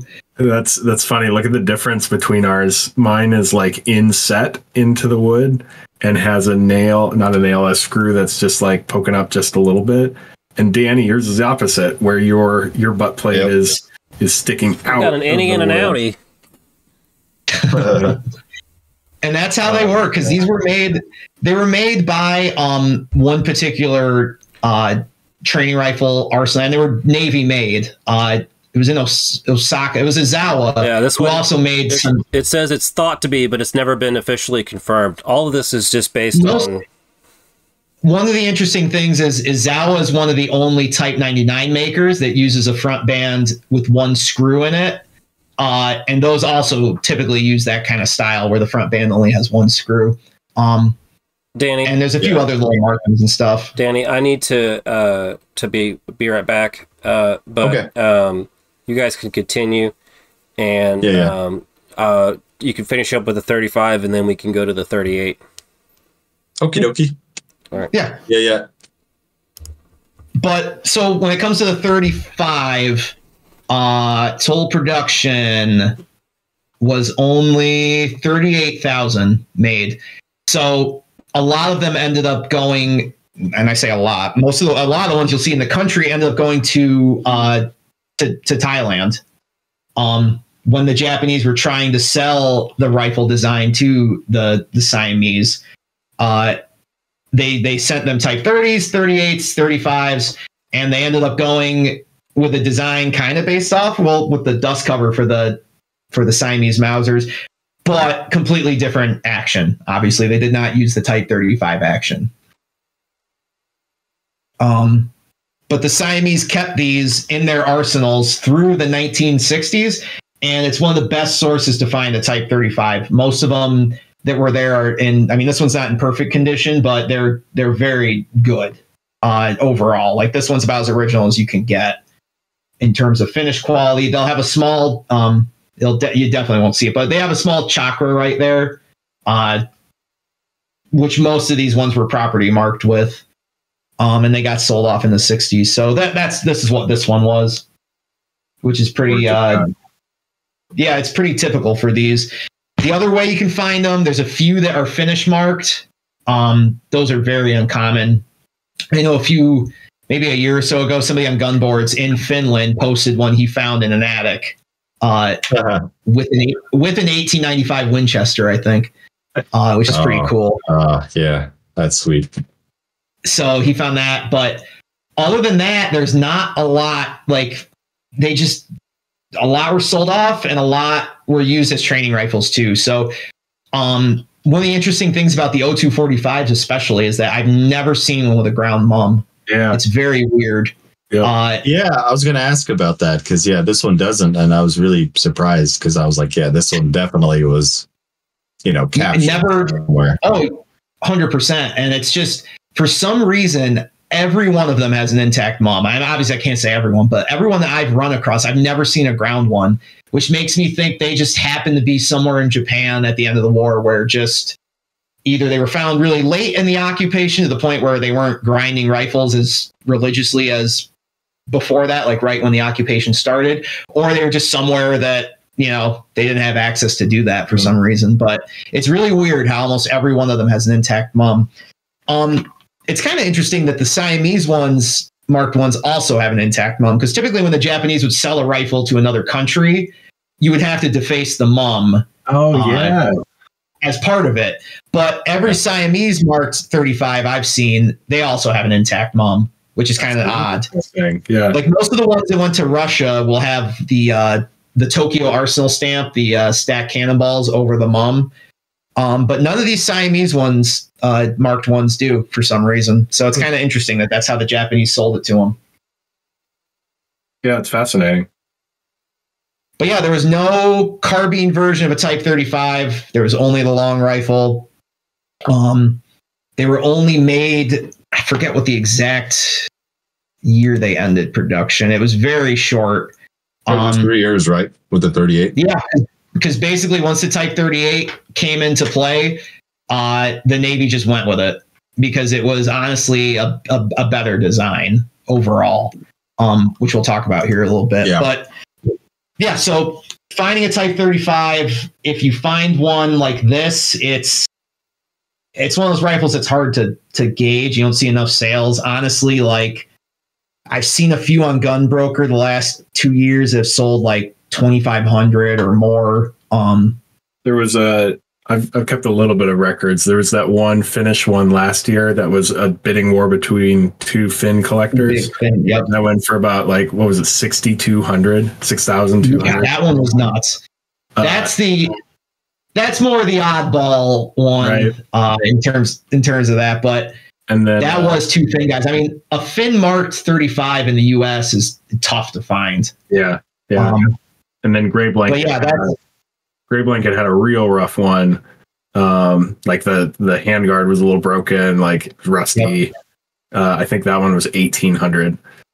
So you're yeah, which is That's good to know the range. given the yeah. Yeah, given the condition of that one, like one of these Siamese was I. It's funny. I bought this from from Gray Blanket at a show. Um, man, no way. in Pennsylvania, and the price on it, I I can't remember exactly what it was, but it was very like ridiculously fair. Uh, to the point where I bought it like within the first like forty, like after he'd set up, it was in the first forty minutes of like Oh, setup day. I I just said, I'm just gonna buy it. yeah, I just told him I'm just gonna buy it now. I'm not gonna even wait. Just I'll do it. yeah. One of the, Um, one of those rifles where if you are a Japanese collector and you see a Type thirty five or or a Type 35 02 45, you Yeah. frankly like if you're interested in earlier Arisakas, you should just buy it. Like regard. Yeah. a little bit of hesitation here, but like regardless of the price, because you will see them very, very, very rarely. yeah, this is the only one I've ever uh, seen at a show. So, but yeah, so that's the Type 35. It was honestly, when you break it down, it was just a stopgap before the Type 38 was developed, which um we can talk about that too. Yeah, yeah. So that, so I mean, that was also developed by Nambu, who as early as um like as he was like even before the 35 was fully developed, like 1902, he was already trying to think of ideas, and he based a lot of this off what the Navy wanted in their rifle. Um, but he also had things that he wanted to do. So I can grab Type 38 here. Better pick a good one, man.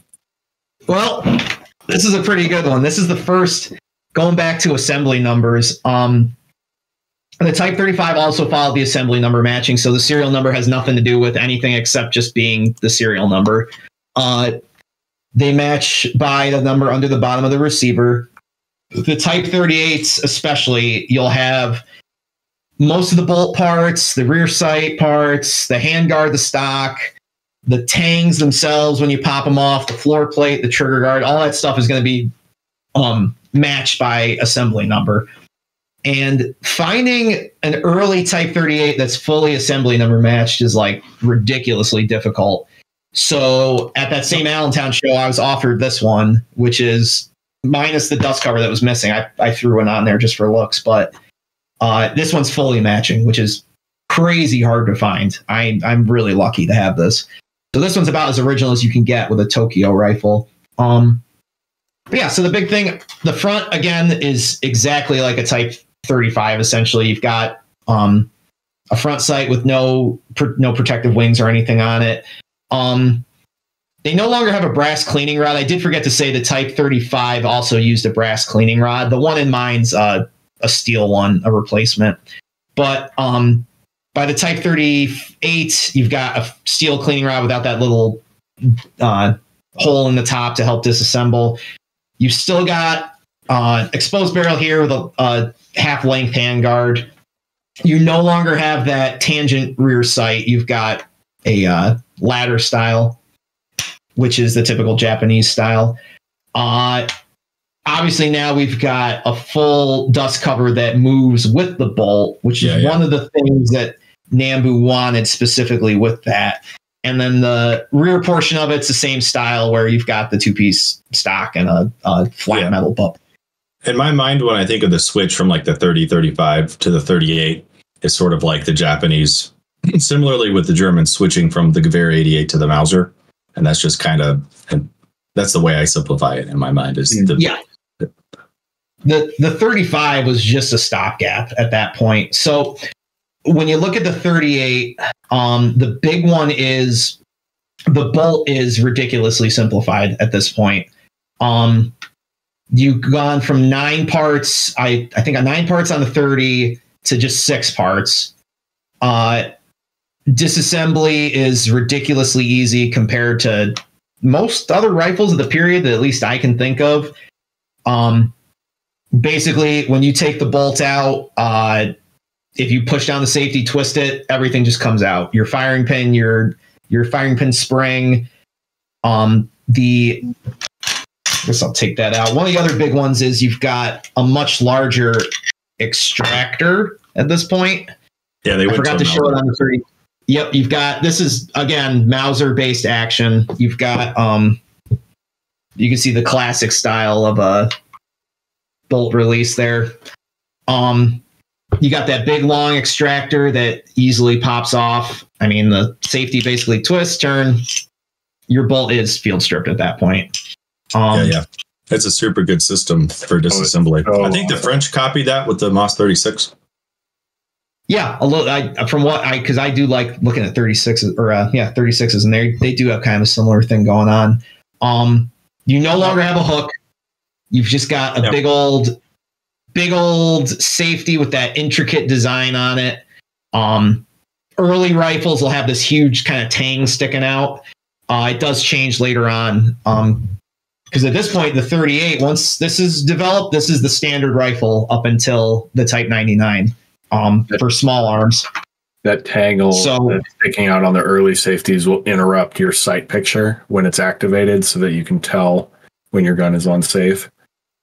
Or yeah, that's pretty cool. Yeah, but- Now, do you do you guys like have heard anything about the um like the sort of reasoning for switching to that kind of style of safety?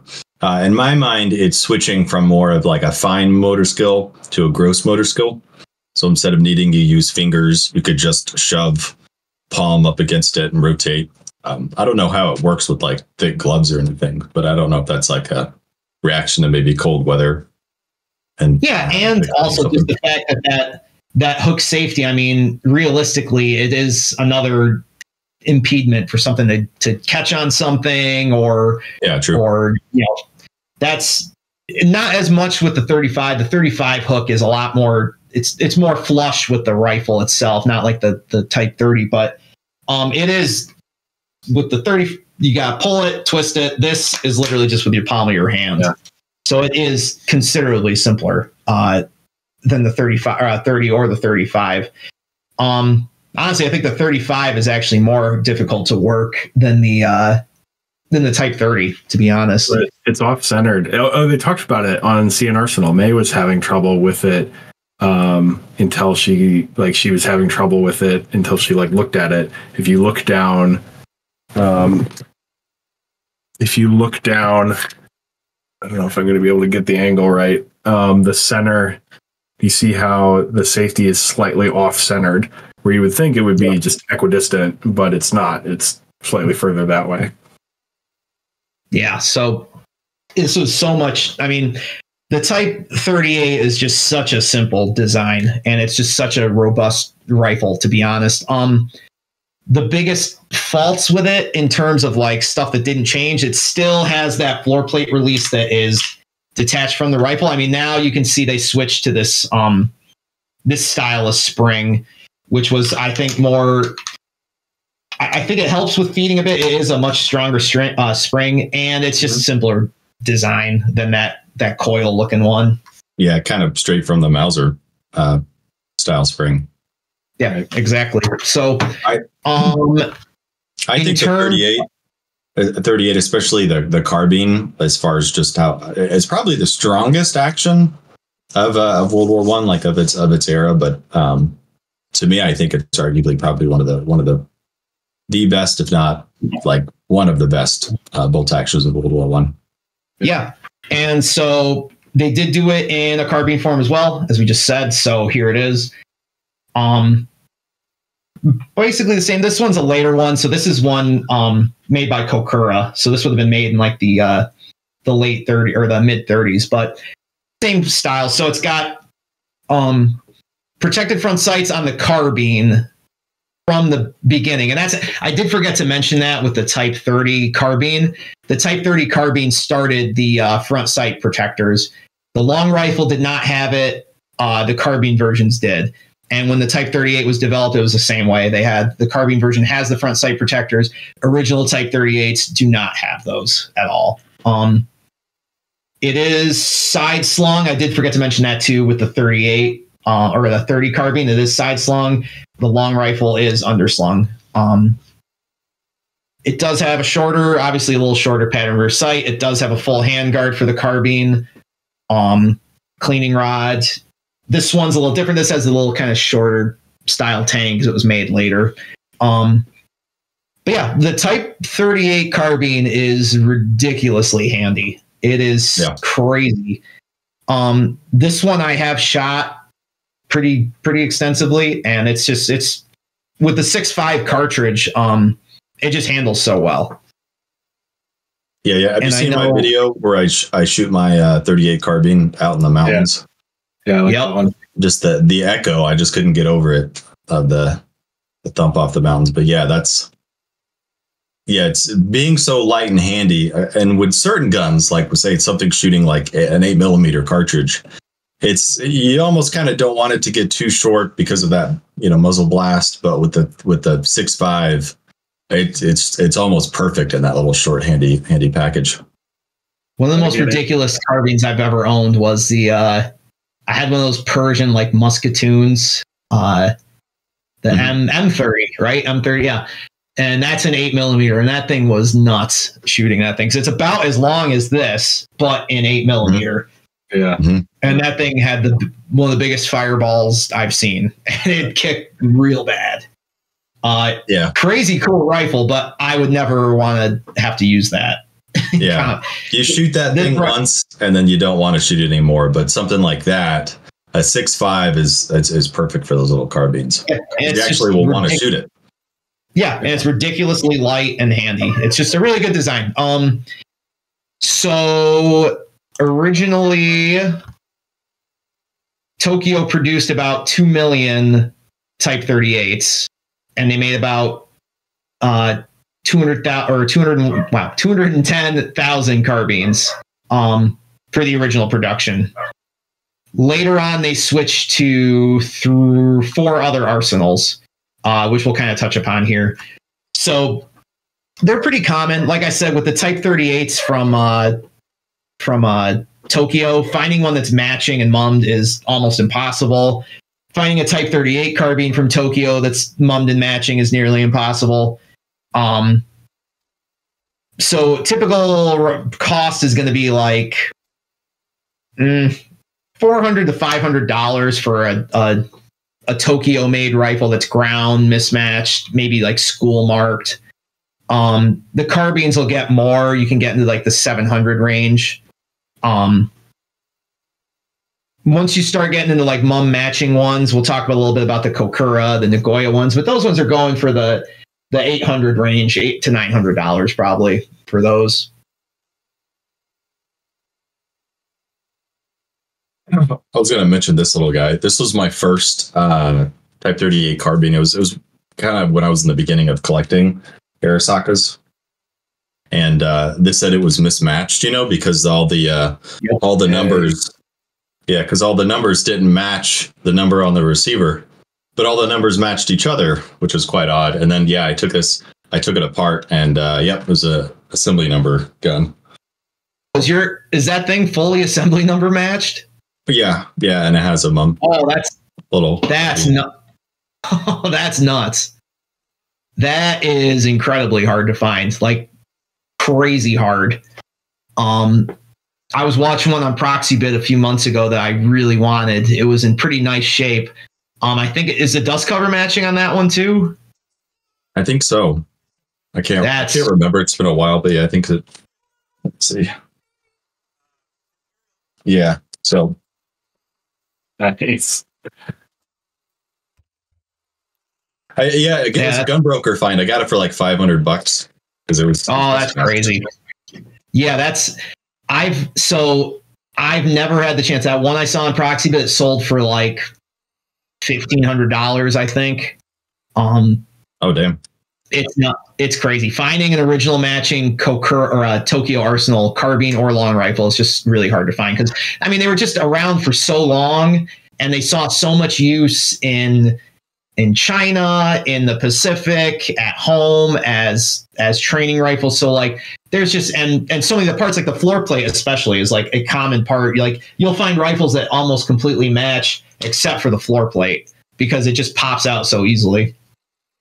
Oh How yeah. much does the lack of a mum affect the the value? So like Danny's would be a fifteen hundred dollar gun as is, but if it was missing the mum, what would that drop it to? Um, it- it'd be like honestly with a rifle like that it- it'd probably be a couple hundred bucks Yeah. like i know like typically i don't put a lot of money in the mum but when you have a rifle like that that's just so special um the more complete it is the more it's it's worth Yeah. um so i would say uh, you know it take and, and it could be worth more because there's a lot of guys i know i know collectors that do not have like they've been collecting japanese rifles for 30 40 years that don't have um assembly number matched 38s it's it's just so hard to find so sweet. for the right for the right thing it, it it could even with a ground mum it would still be worth a decent amount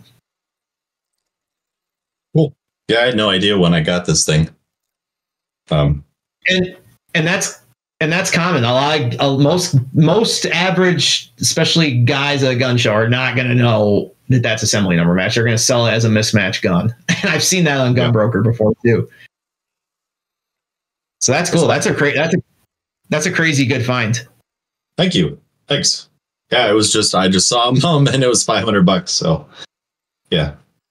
With that's covered everything. I was like, well, I got sounds like a good one. So this was kind of my early one, and this is like my later Type 38. Not trying to skip us forward, but uh, probably should move along a little bit. But this is a later uh, Muck Mukden Yeah. 38 carbine with that So yeah. So once interesting aperture sight, which is kind of. Yeah. So once we get into the 30s here, so so obviously uh, Tokyo Artillery Arsenal, like I mentioned before, they were the only makers of these like rifles and carbines up until the 1920s.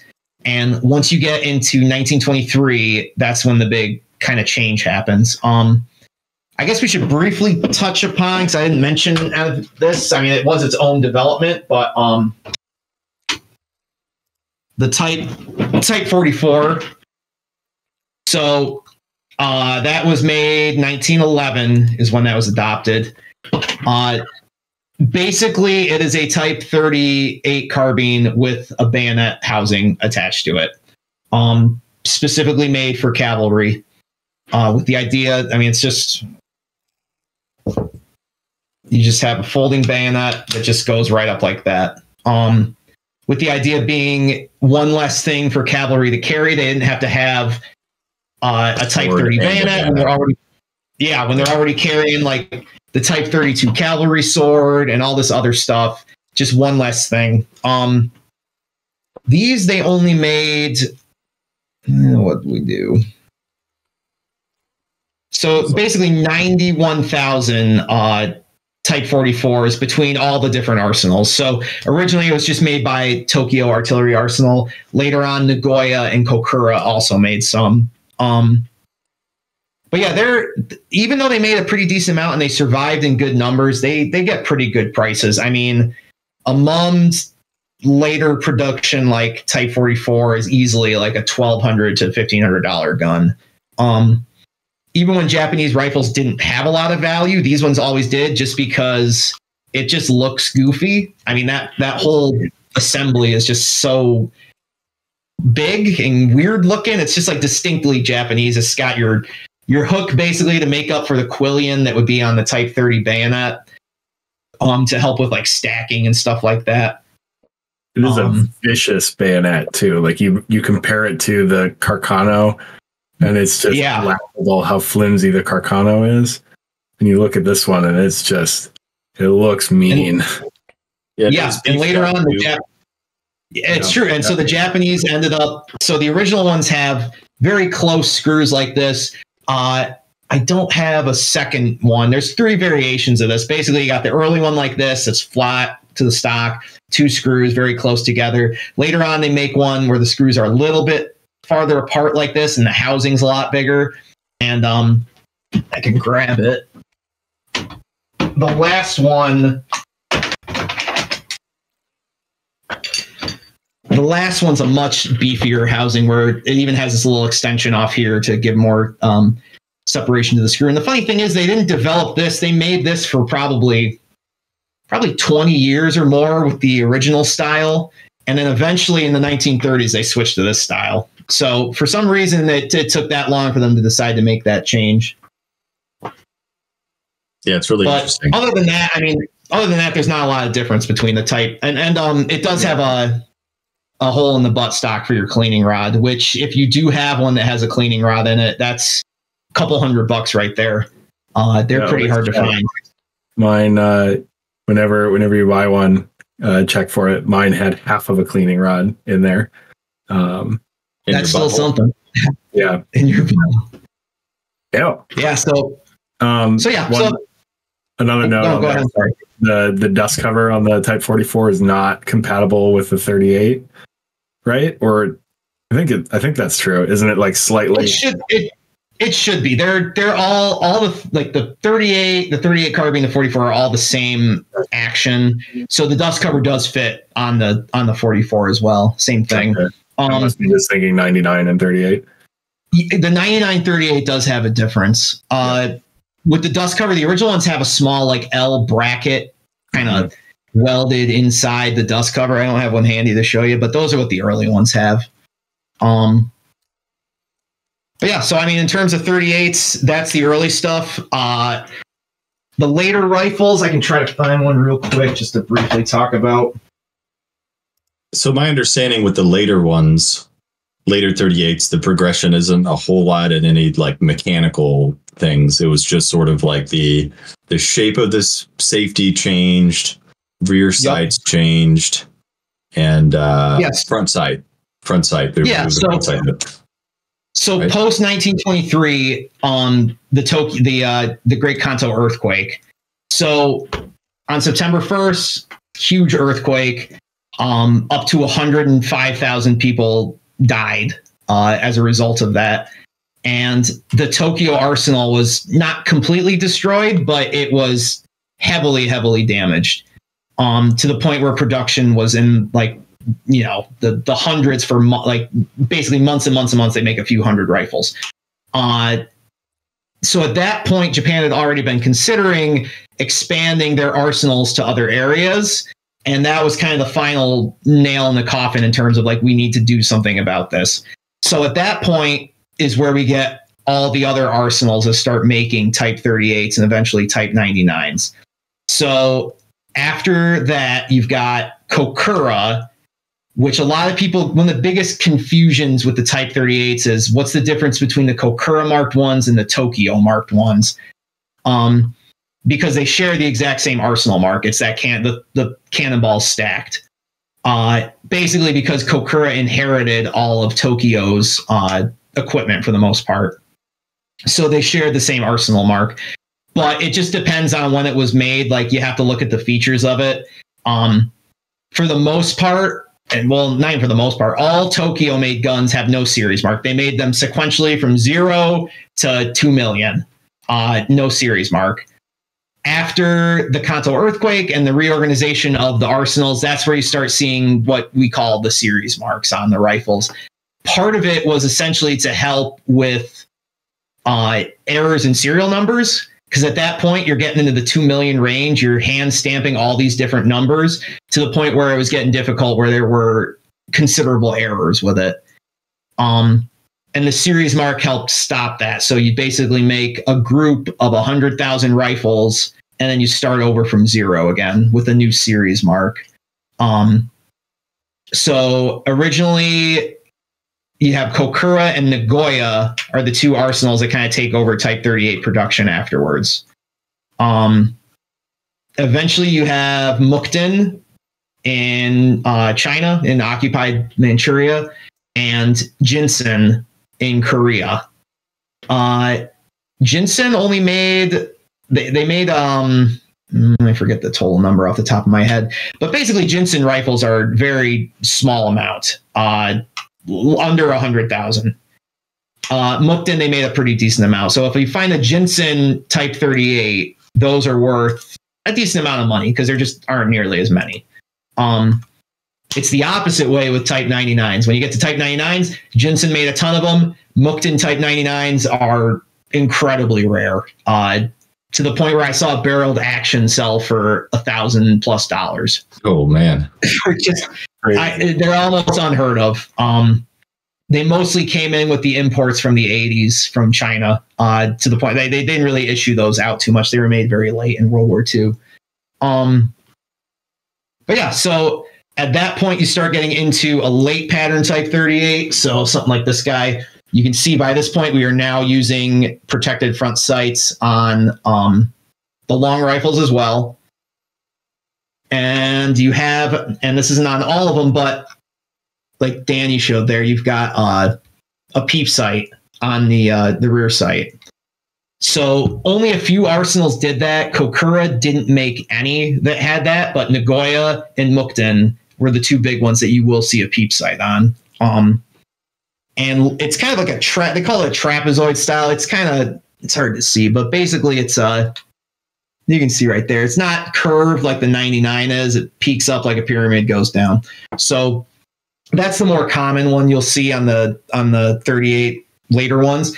And then some of the Arsenal switch to a cup butt plate like this. Uh, which was just again, it wasn't every Arsenal. It's it, that's the interesting thing about these rifles is that and I know it's you know you got other countries that did the same thing, but they didn't standardize everything between every arsenal. So Kokura kept doing a flat butt plate the entire time, basically, but Nagoya switched to that um, cupped one at some point. So you'll also see the bluing. I mean, it's hard to see on camera, but the bluing is a lot different. It's a lot deeper than on the uh, the early 38s. You've got um, you can see on this one, we've got where it's more of the Type 99 style, where you've got the notch for the safety. You've still got that like intricate kind of knurling on it. Um, and the bolts are blued now, which the uh, the Type 38 bolts were not originally blued; they were in the white. But other than that, the Type 38 design didn't change all that much um, through the end of production. You basically got the same style like this, uh, minus like mechanically it stayed exactly the same uh, with just a few differences with like the sight and stuff like that. Um, yeah, my understanding was that the Type 38 kind of stayed the standard issued rifle up to about 42. Yeah, so um, they were making Type 38s up until basically right around the time Type 99 production started to actually really take off. So uh, Jinsen was one of the last arsenals to really make 30. Oh. They made those in because the Jinsen Arsenal wasn't even around until around that time. Uh, so they only made around like 13 it's 13,000 that's how much. 13,000 type 38s made at Jinsen. so they're very uncommon but they barely made any before they switched over to type 99s um so yeah but other than that I mean they stayed essentially the same until you start getting into the type 99s and there's a whole development in terms of how that kind of happened. Um and it starts a lot earlier than people think. Uh so a lot of people think that it wasn't until the 30s that the Japanese really started thinking about changing their cartridge, but it was honestly as early as the 1920s that they started thinking about that. Um, the switch to the 7.7. So we also should kind of bring up at this point we're getting into the end of the Meiji era. So once you get into the um, the 19 the mid 1912 to 1926, you're in the Taisho era and you kind of go back to where now we're starting over. So you've got the Type 10, like for example, you've got a Type 10 knee mortar that was made in 1921. And so it can get confusing there where you start seeing stuff. It seems yeah, like it's yeah. going backward in time. But yeah, yeah, the numbers kind of restart with yeah, with Taisho. Yes. Yeah. So and then obviously like the type the Type 14, for example, made you know started 1925 Um, Mhm. Even though it looks like it's way earlier than uh, than uh, the Type 13 Marauder or something. So I can get that's the that's one of the biggest, con- especially early on. I was super confused by that. I did not understand how that worked in terms of Oh, that. So it took me a while to figure that out. and then you get the switch from you know uh, from the reign of the emperor to the the Japanese style calendar for Type 94 and Type 99 and on through Yeah. on through that. Once you switch, so after 1926, you switch over to the the Showa era. But then instead of using the start of that, they switch to the standard Japanese calendar at that point. Um, and that's how you get going from like a Type 10 knee mortar in 1921 to the Type 89 in 1929. So it can get that's where it gets real confusing. And that's how you get to the Type 99. Um, give me one second. I'll be right back, guys. Um, do Okay. you mind if I cover long 99s, Conrad? Yeah, go right ahead. Hold Awesome. on. Before we get into long 99s, I want to do bring up that um, you go ahead and go ahead, Conrad. This is just uh, substitute stuff. So uh, the Japanese military also did purchase quite a lot of uh, K98Ks and uh, VZ24s for use in the invasion of China uh, in 1937. They, it was uh, domestic production could not keep up, obviously. Oh yeah, it was a rivalry thing. What was it? The the Navy couldn't get Yep. arms, so they yeah. so um so the uh i believe according to my information here now this is obviously roughly uh they purchased um around 20,000 K98Ks from Nazi Germany uh and they purchased uh around 40,000 uh, VZ24s uh, from Czechoslovakia. Uh, and then and then also we get into the uh, special one, which is the naval one, which is the Type I. the Type One, you mean? The Type One, yeah. Sorry, So- I said that for those that don't get it. So Everybody Conrad- calls it the Type One because it's a Roman Conrad, I was just talking about the the purchase of the K98Ks and the uh. VZ24s um, Yup. that Japan did during the very beginning of the invasion of China. We're talking about the Type One. And then we're also talking about the Type 1, as Danny likes to call it. Um, it is I the was just type, trying to trigger these guys. the type I. uh, this is back and forth to the the bitter hatred rivalry of the Japanese militaries, uh, the air, uh, the uh, navy, and the army. Uh, because the navy was, or the navy was not given priority for production, uh, they were stuck with less firearms, and as a result, I think Michael has grabbed his example. Yeah, so I, so Japan contracted with Italy for um, essentially a Carcano type action in a Type 38 rest of the rifle. Um, this one was made by Beretta, so I held out for a long time for a Beretta contract, and mine actually has the sling is numbered to the uh, receiver number on the um, on the on the rifle. So pretty cool. Uh, pretty cool combination of different collecting stuff. If you like, if you like Carcanos, you can. Now, does it have a to purchase again. Uh, no, yeah. So that's the other thing is that uh, it's literally it's the it's the series number and then the serial number are the only markings on these guys. Now, those never Um, did have a num a mum, is what you're saying, right? Correct. They've got some weird things like the trigger trigger guard is a lot larger than the Type 38, and then the stocks are generally unfinished, so they just feel a little funky. Um, And you can have some that are shorter too. They, Yeah, yeah, mine's- yep, mine's about an inch shorter than the Type 38s. Um, Yeah. And I think, remind me, Conrad, if I'm wrong, but didn't the Japanese do that to shorten the length of pole right here? Yeah. And So um, was- you know, else, Yeah, they did. Yep. So that's why you'll see two different ones because I think the Italians originally were making them a certain way, and the Japanese had to interject to tell them that's the way the the length they wanted for it. It looks Yep. like uh, Beretta Um, was only thirty thousand. Uh, uh, Yeah. Total production is right around one hundred and twenty thousand, is what it says was, was ordered. And what's interesting with it is, even though it was made by the Italians, the Japanese still had them put uh, a two piece stock, so it still has that stock split in it, even though it's a made by the Italians. There's a different cleaning rod. Mine does not have a cleaning rod, which is a bummer. Uh, but there's a different cleaning rod than the Type 38s. Um, type I cleaning rods have a, a five pointed star on them. And the, the length, I think, is just slightly off. I don't have how many inches it is, but I wanted yeah, to, that's I wanted to get into these because this is still six point five. Before we Yep. got into the, the Yes. Type ninety nine, we switched to seven point seven. yeah, good call. It's interesting, right? When you when you first get into Japanese rifles, you're just like, oh, it's the Type 38 and the Type 99. But then, like any other collecting field, you you quickly mm-hmm. realize that it's just so much more nuanced.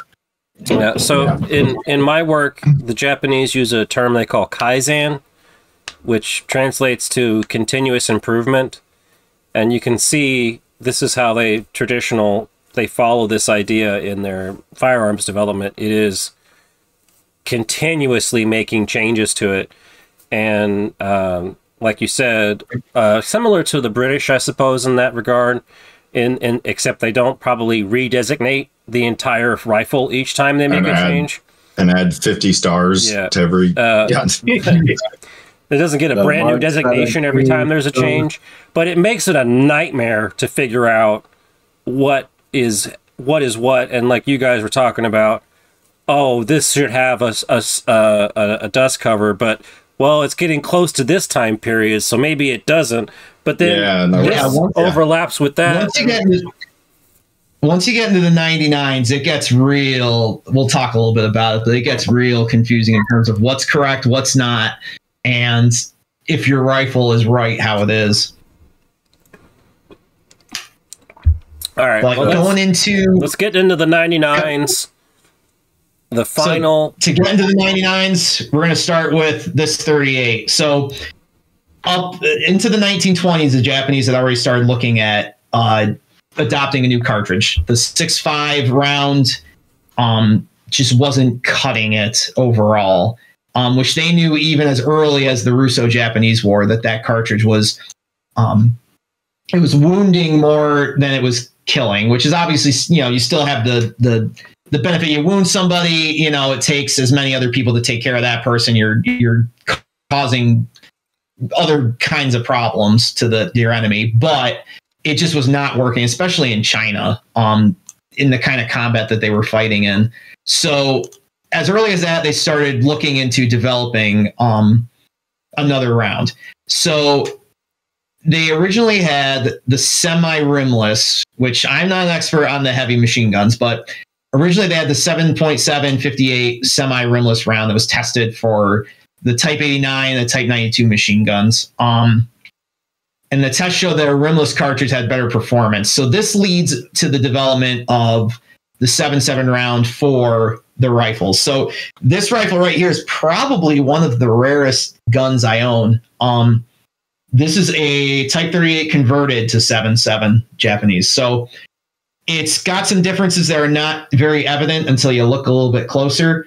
Um, It's very shiny. overall, it looks it is very shiny. A lot of people going back to like refinish. This is original stock. It's got perfectly struck proofs on the stock.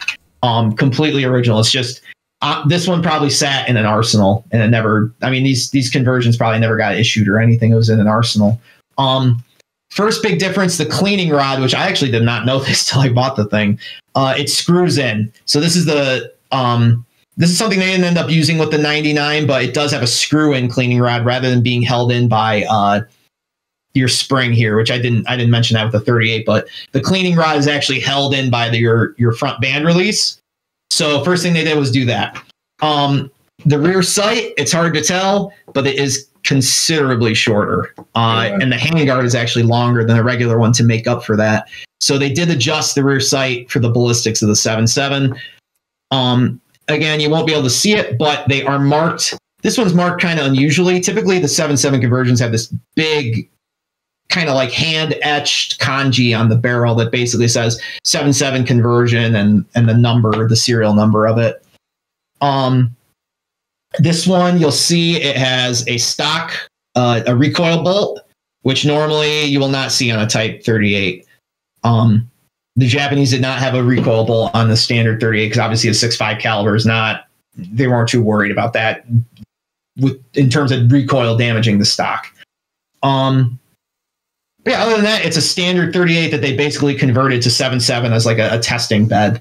Um, overall production of these is thought to be less than 300. Um, Oh, that's So they're- man.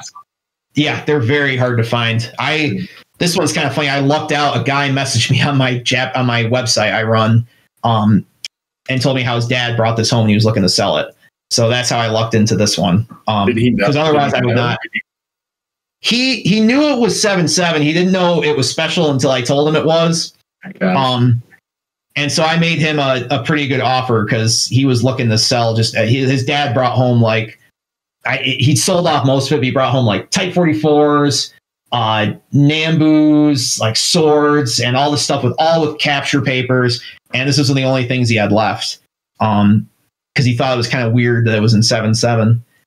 So, but yeah, so I was pretty happy about that because this is one of those things that you just don't see. So, um, most of them, I think the big majority of them were 38 carbines. Actually, they converted a lot of the carbines. Somebody in the Discord has one. Now I forget who it is, um, or his dad does.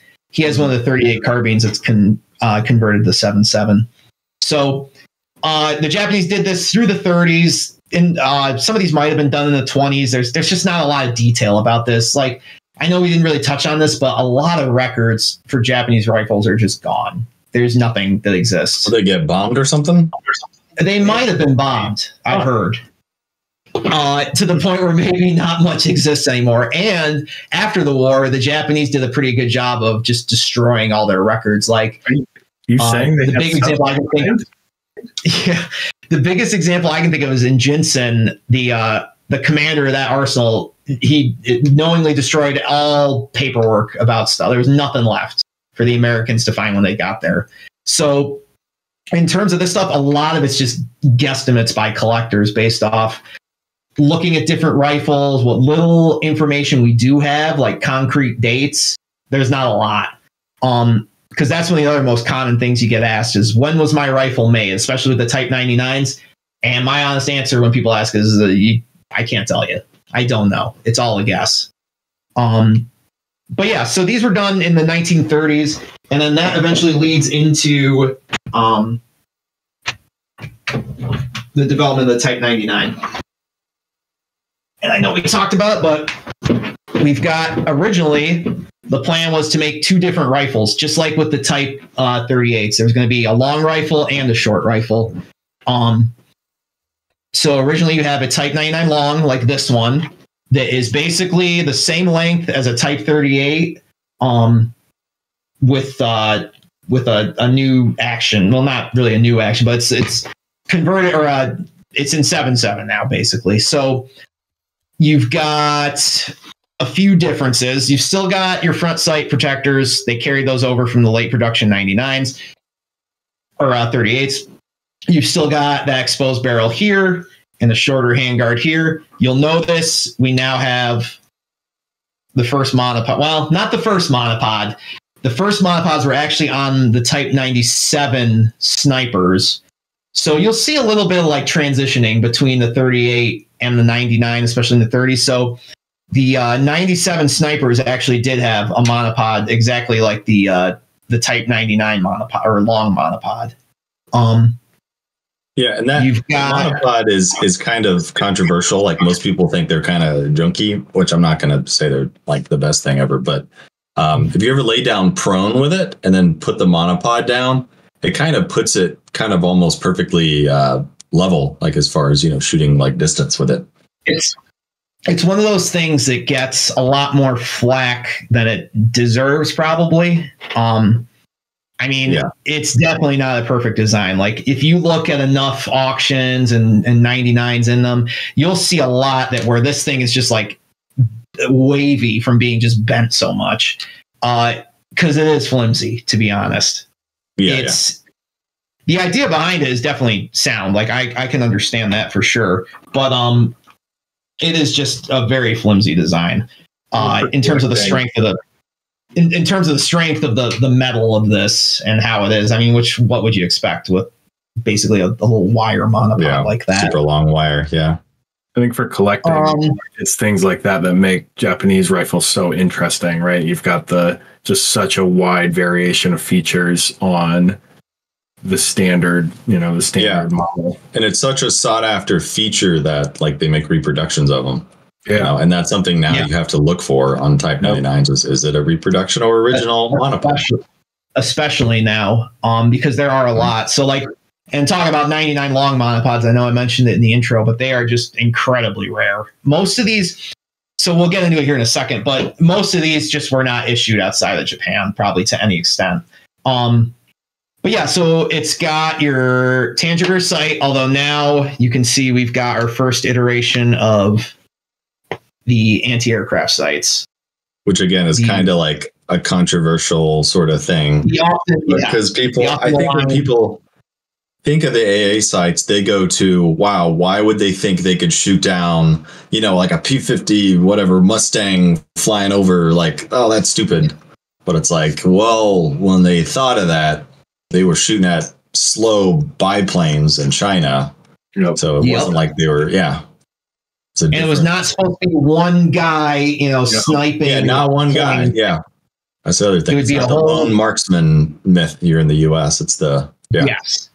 You would have your whole group shooting at that. Um, now, realistically, did it do? I mean, was it a useful feature? I don't. I mean, it's kind of. interesting. I wish there was some kind of documentation out there about the the uh, success or lack thereof of that. Because the interesting thing is with the 99s, most of them never really made it to China. Most of them were used in the the actual Pacific theater.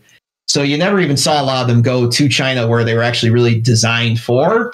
Right. Because kind of going back to like Italy, where right on the cusp of World War II, they're trying to change calibers. It's the same thing with the Japanese. And they were never able to fully, obviously, switch over to a 7 7 round. So most of your units in China, they'd been there for, you know, decades at that point. Six five was being produced, you know, in country and and everyone was armed with a Type 38. It just made more sense to use the Type 38 more in China and not try to introduce a whole nother caliber there. It says on the Wikipedia that the intention was the Type 99 would f- fully replace the 38 after the Japanese victory in China. which obviously never happened. Um, but yeah, so the original plan was to do that and then do your short, what they call Type 99 short. Now, when it comes to collector terms, nobody calls it that because it's just kind of silly. There's there's so few Type 99 longs. so basically they made around 38,000 um, Type 99 longs, and that's it before they realized it was not the the the shorter barrel length of the the short rifle was not nearly as much of a detriment to like justify a whole nother production line. So the 99 long, most of the parts are interchangeable, but obviously the stocks are not. The rear sights are different. The monopods are different. Clean, you know, a, a lot of parts are different, and it just did not make sense to produce both. Um, so they look at making going- a long rifle and carbine 99 or a long rifle and short rifle 99 So the original intent was a short rifle. The the testing from the 1930s and like the early the late 20s and stuff with like converting 38 carbines to 7.7 it just did not work. It was just kind of like I was talking about okay so they knew Persian- yeah yeah yeah. They knew it was the not Wikipedia entry says that they tried 44s as well, and they said that it said the uh, Yes. the recoil was excessive as well as muzzle flash. Yep. Yeah, there are there's some really interesting if you ever buy um kind of the Bible of Type 9 or uh of, of Japanese rifles, uh, Military Rifles of Japan by Fred Honeycutt. Um, there are some pictures of some of those oddball conversions like that, the, the 44s and stuff like that, that they tried converting the 7.7. Um, and it just did not work. So Sounds similar a to short the, rifle- the German K98K when they first tried to use the original uh, S Patron, and they were like, "Oh shit, this is way too much muzzle flash." Yeah, it it was way too much. So the short rifle was a good kind of intermediate, like, and and that, and that's what a lot of the countries were going towards anyway. I mean, Yeah, you look we- at like K98K and stuff like that, and even like the the 03, it was already Yeah, a good bit shorter. earlier, kind of starting in the yeah early 1900s to like the 30s is kind of when you see the big big switch over for everybody, and Japanese Yep, just and- lagging a little bit behind there. and they were and and that's why as they developed the 99 it was just realized that was silly to have that extra um Right.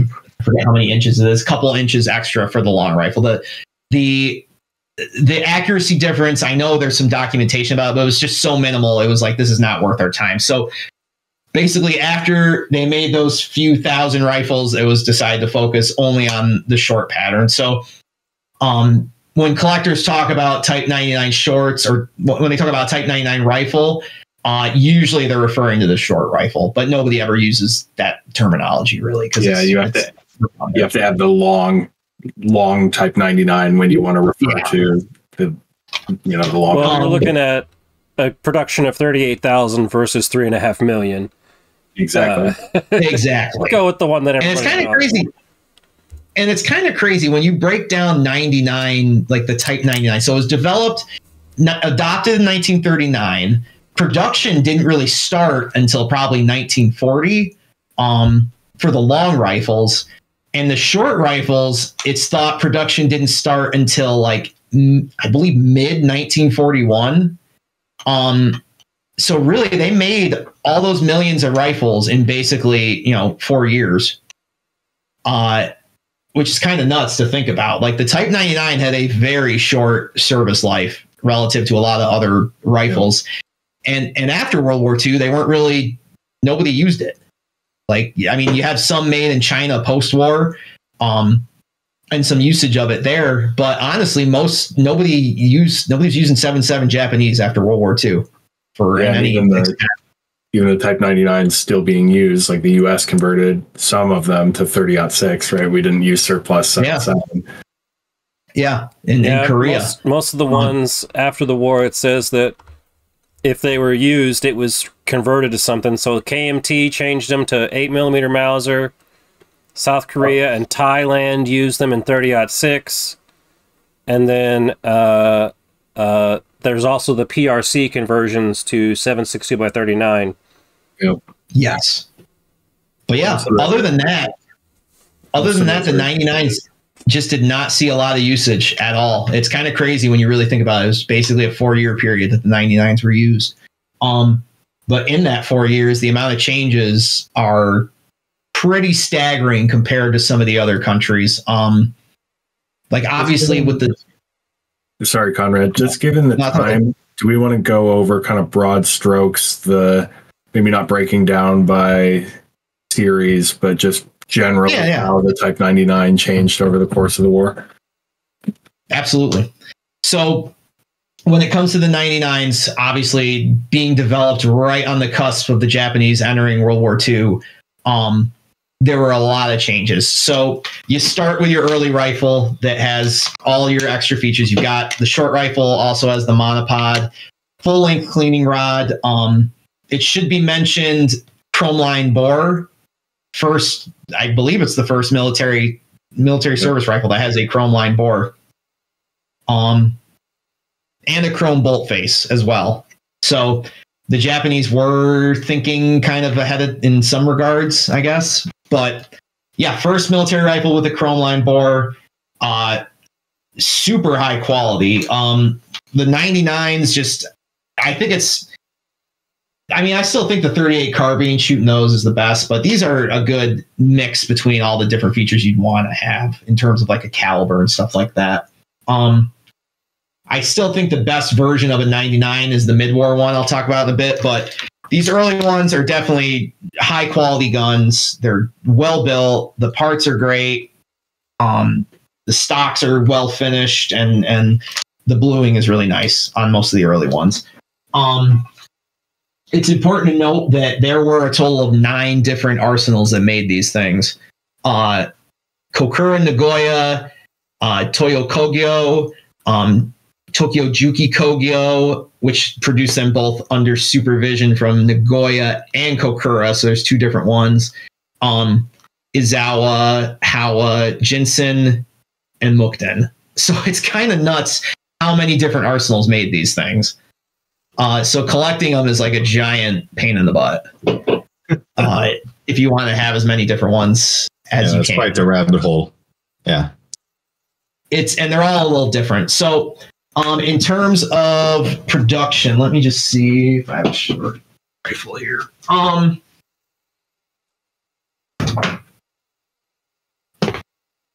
this is a good one just to show a quick difference. So, this would be this is actually a pretty rare rifle. This is a fourth series Zawa, but you can know this right off the bat. Everything looks the same up here. One of the big differences you'll see is a rear band with no monopod attachment whatsoever. Um, one of the first features to go on these rifles actually was the monopod. So I usually use Nagoya as my baseline because Nagoya produced the most. Um, and generally the other arsenals kind of follow the same pattern as them. So when you look at Nagoya rifles, the first couple series are all complete. First thing to go is the monopod. Um, I, I don't like know how.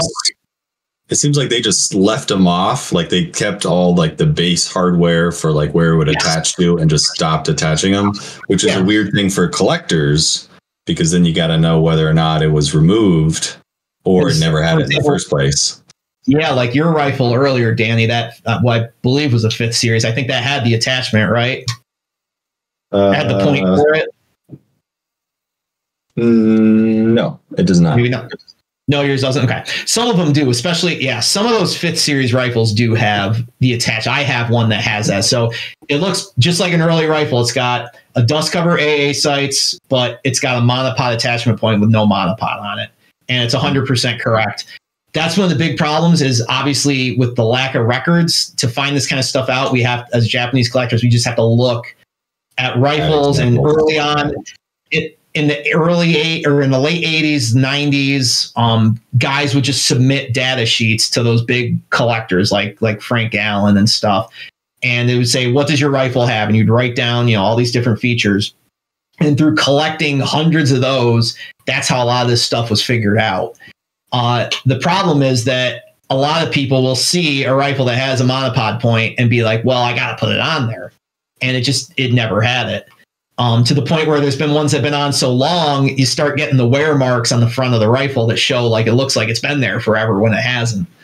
So that's one of the things. That's why when guys ask me, you know, should the, I, I'm going to add the monopod, I'm going to add the AA sights. I have, I say you got to look at what you have first, um, because it all depends. Uh, this rifle's interesting. Going on that same note, you've got the attachment points for AA wings, but they never had it. This rifle never had them on there. Um, it, it it's another one that guys like to add on AA sights. My favorite is I'll see the seventh series rifles that have the really short. They they cut off about an inch of the rear sight, and guys will try to add the AA sights on the seventh series rifles, and literally it doesn't fit because they got rid of that because they weren't putting AA sights on there. So you'll see guys try to Oh, fit these AA wings on here, and they like actually rub up against the wood, like so it doesn't even fold down.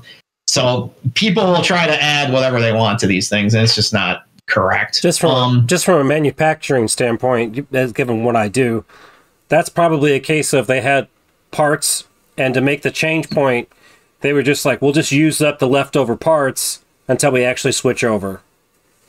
That's hundred percent it. Um, especially with Nagoya, once you get into the fifth and sixth series, which is kind of more mid-war, like probably forty-two, early forty-three, you'll start to see times where you'll see that kind of rear sight I just showed, but you'll also have one that doesn't have any attachment points whatsoever. But they'll be all kind of mixed in together because they were just using essentially whatever was there. Um, but yeah, so the first major part to get eliminated was the monopod. Even before that, they switched to a screw-in cleaning rod, which isn't on this example. This is a full-length one, but um, a lot of the transitional ones literally have just. It's not even a. I guess you couldn't even really call it a cleaning rod. It's just like a little stacking rod that just screws in. It only goes about like looks like a this- rod. Yeah. yeah. It just goes about this deep into the rifle. It doesn't even have like a full cut in the cleaning rod for like uh for like using like a, a, a swab or anything. So that was the first big change. Then the monopod. Um, then you start seeing the AA sights go away, and then final the final thing to disappear was the dust cover in terms of like before they switched to the last ditch rifles. Um, which we can talk a little bit about the dust cover briefly and what what collectors think and the Fudd lore. I mean, you will hear every day that the Japanese threw the dust covers away. Um, I don't buy it whatsoever. Um, it just doesn't like it doesn't make sense with the development. Like if you look at this, they basically had a dust cover on these rifles from um, the early 1900s till the middle of World War II. And you would think if it was enough of a problem that guys were discarding dust covers, you'd think at some point they would have said, especially when developing, you know, the 99, why are we doing this? We need to come up with a better solution. I could yeah. be wrong. I could be wrong with that, but that's just how it makes sense to me.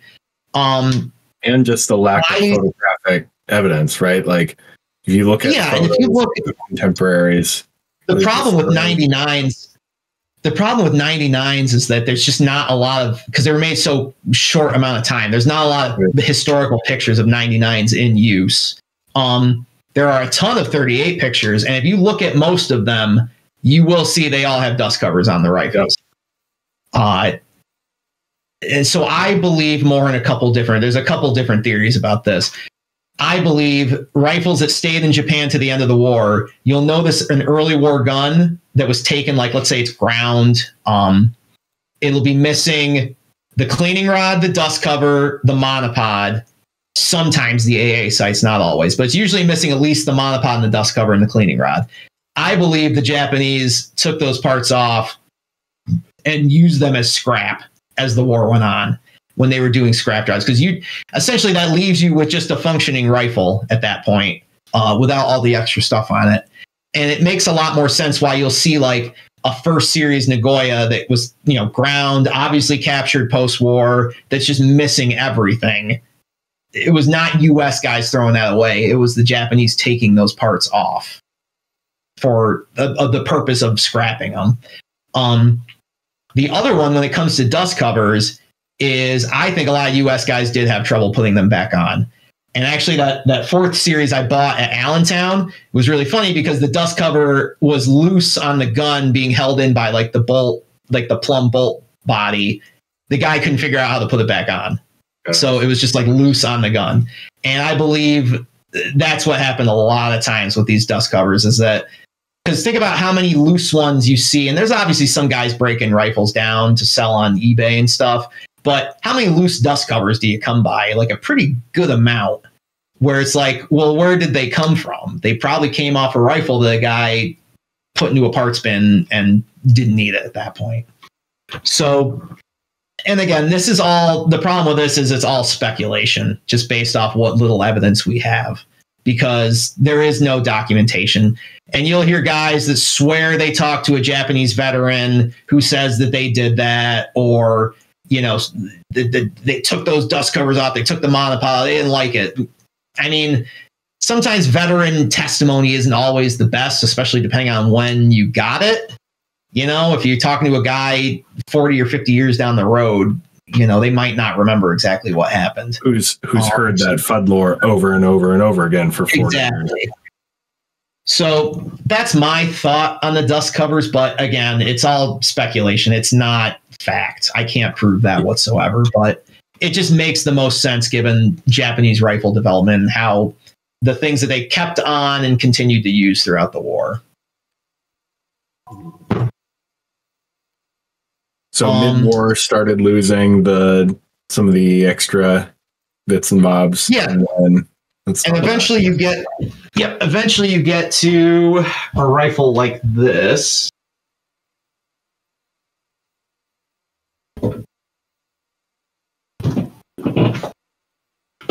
So here is your typical late war 99. Um, and when I say late war, honestly, I think it sometimes it might be earlier than you think. Um, a lot of these changes might have happened in like mid to late 1944, if not even a little earlier than that. Um, but here's where you get the switch to the classic, what collectors call last ditch rifles. Um, that's not a Japanese term. That's something that came through collecting. Uh, guys came up with that name. But this is uh, an 8 series Nagoya. So you still have the basic Type 99 action. It still has dust cover grooves. It never had a dust cover, 100%. Um, your front band is welded in place. This will not move. Uh, another one that you'll hear a lot of guys say is that they think this one's actually pretty solid, but usually this fore end, especially on a lot of late war rifles, will move to the point where guys call it a duffel cut. Um, if you look on Gunbroker any day of the week, you will see late war rifles advertised as a duffel cut that are not. Um, at some point, the Japanese switched to a, a the three piece kind of main stock. So you've got obviously your split, and then this is its own separate thing being held in by this welded on front band and your barrel band.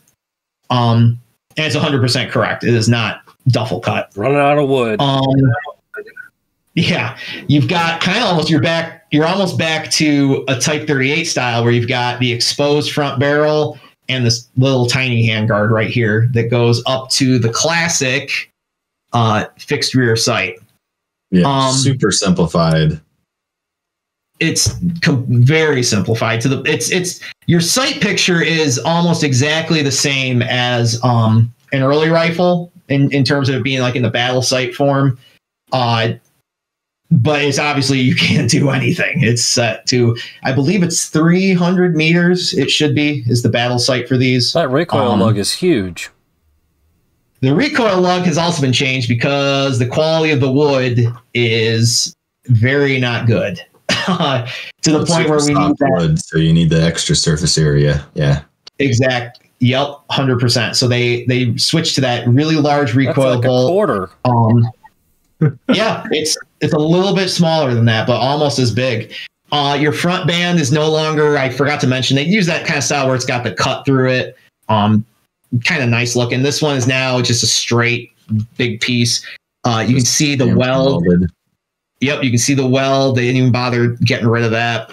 Um, your bolt body. So you switch to this cylindrical style. Uh, and actually, what's kind of interesting is you can have some early rifles, especially in like the six series, for example, where you'll have this style of safe or uh, bolt handle, but you still have the nice intricate bolt or uh, safety, and that's 100 percent Oh, correct. Yeah, that's interesting. So they switched. Yeah, they switched to this pretty early on. So I mean, this is an eighth series, and by the sixth series, they had already started doing this. Um, it does get more crude as the war goes on. So like one of the six series is still like machined and nice. This one's more cast and not nearly as nice. Um, Missing the and then uh, you also missing the drainage hole, drainage hole as well. missing yeah i didn't mention that. The the 99s the early ones will have a drain hole right here basically for your your dust cover to let water and stuff come out. It would also have one on the bottom. These no longer have that at all. There's no they had no time for that. Um your safety is now the welded well they're always welded i know uh, it's kind of a a misnomenclature there because a lot of guys will say a welded safety, but technically all those safeties are welded like the stem of the the the uh, safety is actually welded in place. But early on, they did that nice knurling there, and now they switched to this where they don't bother doing anything to it, or to do the bare minimum to get that welding um, flush. Uh, you've also got a shorter extractor at this point too. Um, they switched to one that goes all the way basically to your bolt handle. Now it's about three quarters the way instead. Um, chrome bolt lining lasted longer than you think. You can see the chrome line bolts into like or uh, chrome line barrels into the like the seventh series of Nagoya production, for example. So I should say Nagoya made series uh, zero to twelve. Um, they made the most of the all type 99, so that's why it's usually the best one to gauge, uh, like different production changes and stuff. Um, but yeah, you can still find. They actually kept a, a chrome line bolt or a chrome line barrel for quite a while. Um, it'll be difficult to see, but on the receiver, you no longer have the text that designates the model. It's just the mum at this point. Um, and then the other classic, you've got from a two screw uh, rear swivel. Now you've just got one. Um, very basic, and then wooden butt plate with three nails typically. Uh, very simplified design. It does get more simplified as it goes on. Um, so obviously Nagoya made to series 12 and this is series 8 and it does change a little bit more um, after that but this is the kind of model and these definitely got issued some of these so like especially the 8 series and stuff like that um, i think a lot of those didn't make it in time to actually be at like you know iwo jima and, and okinawa and stuff like that um, after that, once you start getting into the really late war stuff, a lot of that didn't make it. But some of this stuff I think was made early enough to still be like captured in in battle, essentially. Um, so I could believe like this one when I bought it, it had like a sling on it and everything, and it come out of an estate. So this is one that I could believe was like probably taken in, in battle, uh, more than likely. And then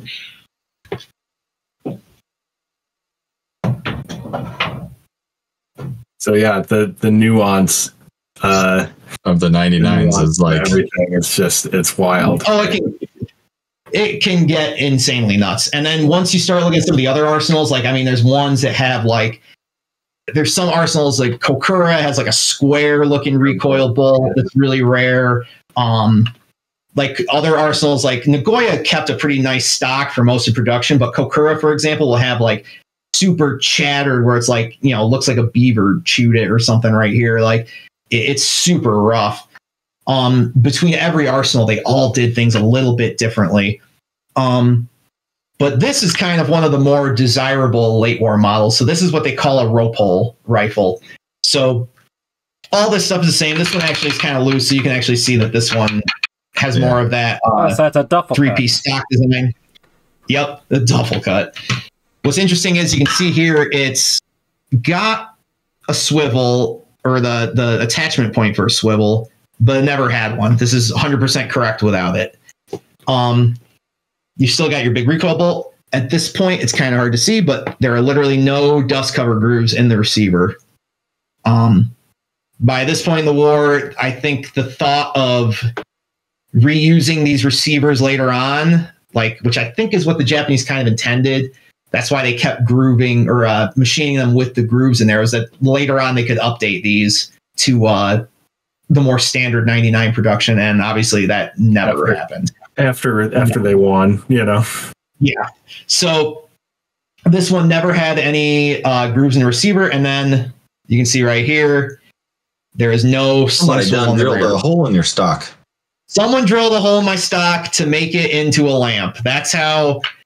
I don't think it was this one, but there is a 99 I own, uh, a rope pull that was on YouTube. The guy made a video about it. This, I mean, he was nice, but he was a fud, and he was going on about somebody drilled a hole. They were going to make a, a lamp out of it. And, uh, you know, it's kind of weird. And I called the store and asked if it was for sale, and they said yes and uh, I ended up buying that gun off of off of YouTube of all places. But yeah, so it's just literally it's literally just a hole drilled in the stock um, for a rope to be used, and and and around here you would have just tied it around and just wrapped it around there like that. And what's kind of funny is at this point there are only two nails in the butt plate. They actually made an active decision to stop putting a third one in place because it was saving You're getting however desperate. you made, You're know, getting save that many nails. You know, yeah. When I you're mean- counting what's that snail? Yeah. When you're counting nails, that means you're in a bad place. A rifle like this probably would have been made like summer of 1945, so probably like June or so. Um, this is an 11th series. The 12th series is one of the most like rare of all Type 99s. The last one I saw sell was like four years ago, and it sold for like almost three thousand dollars, and literally, literally the only difference between this and a 12th series is that tiny little kanji mark for what it is. Yeah. The only difference. I sort of wish I bought it because then I would have a complete Nagoya collection now. But at the same time, I'm like, I I could not justify that You at just all. buy, find some find somebody that makes a little stamp for you. There you go. I know that's well. That's the nice. So the nice thing about rope pulls because we really got to thank the Japanese. the The hole that's drilled here is slightly higher than where like a single screw swivel would be. Because if it was at the same point, you would see a lot more rope pulls exist. I think if you could just drill right through where like that single swivel style was. Um, so we definitely got to thank the Japanese for that because there would be so many more of these that existed uh, from just guys faking them. I've seen a couple fake rope pulls like that, but the, it's just so obvious because it doesn't line up correctly. But this is a very, in terms of like talking about like I know on especially on here you guys talk about like rarity, like scarcity versus desirability of a rifle. Mhm. this is this is one of those ones that like rope pulls aren't super hard to find. Like it's not like impossible but it's one of those ones that because it's such a uniquely like late war japanese thing they have such a, an a demand for them just from guys who don't even collect japanese rifles uh, just because it's such a unique thing for them. Um, so your average rope pull is probably going to be at least like for a nice one like this that's matching um, probably at least like 800 bucks to a thousand bucks for a rope pull um, most of them are ground, especially like Nagoya guns. So actually, this is one of the only Nagoya rifles I own that has a ground mum. Um, if I were to find a mummed rope pull, that would be nuts. I've never, or a, a mummed Nagoya rope pull, have not ever seen one. So something to keep in mind if you ever run into that. But this is basically there's a few other kind of oddball designs. You can get into the naval special, which I can show real quick because that's another really weird design. This will probably be our final one, Conrad. Yeah. There's a, That's all good. What, what are we going on right now? uh, we're It's like going on close to, uh, three, like three and a half, plus, I think. Yeah. Yeah. oh boy! All right. I made Well, just to end it for the, the latest, most odd design you can get, Naval Special 99. Uh, everything on this is cast iron minus your uh, barrel and your bolt body. Uh, the receiver basically surrounds the entire barrel, which goes like right up to here. And the bolt actually locks into the barrel instead of the receiver. So your receiver basically does nothing except kind of hold everything together. And uh, it, it it's a very crude design that was made by training rifle companies. Um, and and some of the arsenals would provide the the steel parts, and they would do everything else. Just so as many companies as they could get could be involved in this kind of like small arms production.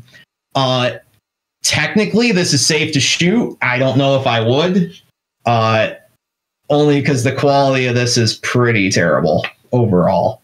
Still got the but drain in hole. theory, I, yeah, this does still have a drain hole, which is funny because they used uh, they used whatever stocks were available. This one still has a cup butt plate, but you'll these But ones no are very interesting because No, it, sling no sling. 90, the 99 naval specials have no attachment point for a sling whatsoever. So I guess you're just expected to carry this.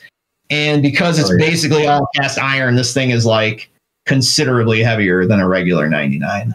So I heard the Japanese soldiers didn't use the slings like to sling their rifles. They always had to carry it. The slings were for like other some something else.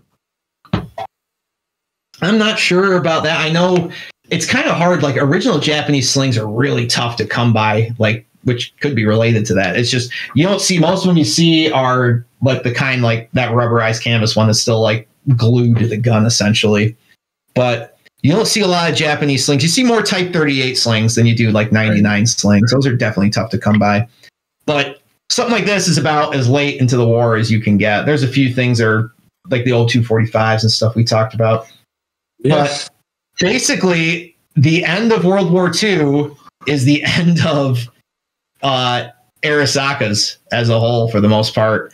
At least Um, Japanese production. The Chinese did some weird stuff. I have a couple. The Chinese, the Chinese Chinese did some stuff post war. Um, they used them post war. Obviously, I know you guys are all big into like the the seven or uh, the uh, seven six two conversions and stuff like that. I know there was one they were talking about tonight. yeah, I have an eight millimeter Mauser Um, conversion and a seven six two by thirty nine conversion. Yeah, But after World War II, the Type 99 was a dead rifle, and the Cart 77 dead cartridge to the point where it's it was super hard to find in the states because when guys were bringing these home, you were not really allowed to bring home like excessive amounts of ammunition. You were not bringing home like you know cartons of rounds. You could bring home like 10 rounds as like a souvenir. So even in the post-war environment, it was just you didn't see it anywhere, which is why you see so many like rechambered Type 99s and 38s. Uh, because it was Yeah, just the- way, the- Roberts. Yep. Yep. yeah. That Rob, yep, that Roberts one is a big one you see all the time. 30 Um, out the six. 30 out six, yep, Oh, yeah. Um, oh the, but- yeah, the, the United States rechambered a bunch to 30 out 6 for the Koreans. Yes, and those are actually pretty valuable. Those are pretty valuable pieces because they have they have very specific markings you have to look for in terms of like the writing of the the thirty outs or uh, thirty cal on the receiver. Um, but yeah, that kind of ends the history of the Arisaka after after World War II. Basically, it was just a it was a very short and for the Type ninety nine, very short lived design. After World War II, basically nobody used it. And in terms of like six five and seven seven Japanese, mm, after the war, it was just people using it who didn't have a lot of choice, like in China, for example, using up what they had. Uh, you don't see any countries really actively producing a lot of six five or seven seven rounds, especially seven seven rounds after Yeah, China World War II. and Thailand are the only ones that I can think of that use it after. Yeah.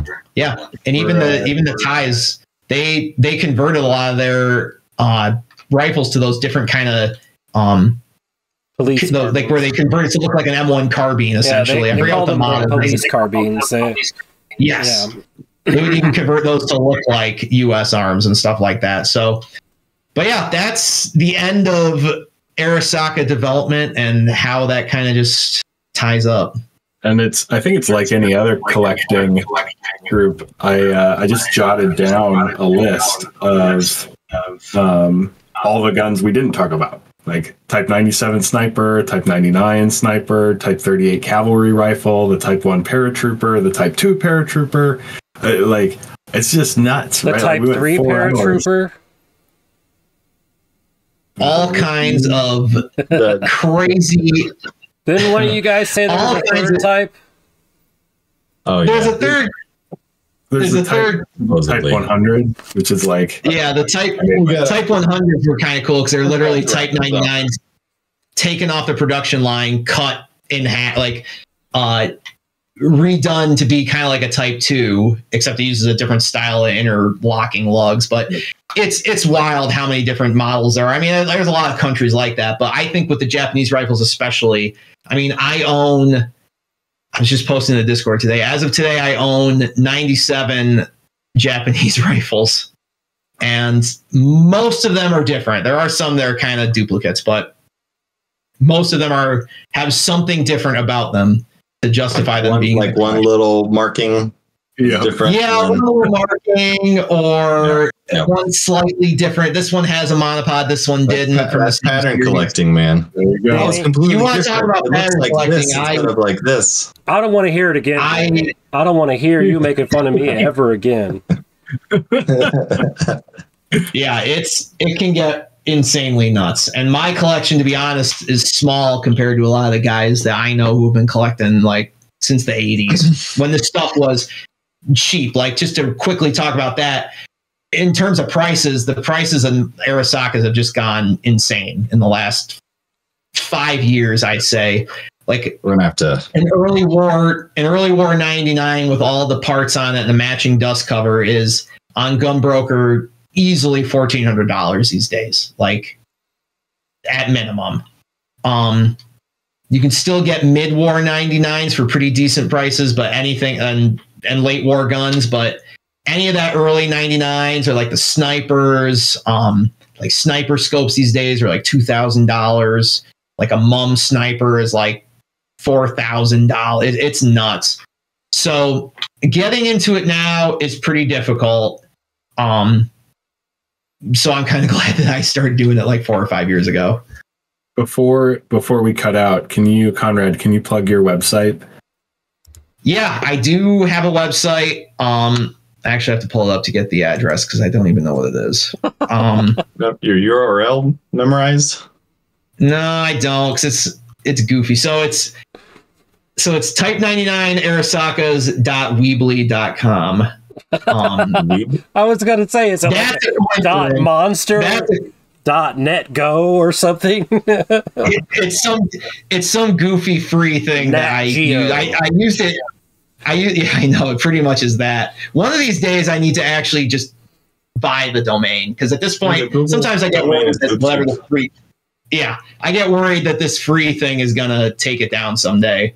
Uh, but yeah, it's basically it's got a page where you can look up every manufacturer um, of Type 99s. It doesn't cover 38s at all, but it's got every manufacturer Type 99s. It's got all the pictures that I'm kind of known for posting with the wagon wheel, um, Yeah. which is a classic thing. I've had a guy actually accuse me of stealing from myself on Reddit once. He said, "Aren't you that you stole that from the Arisaka website?" And I said, "Well, I run that website, so I don't know about that."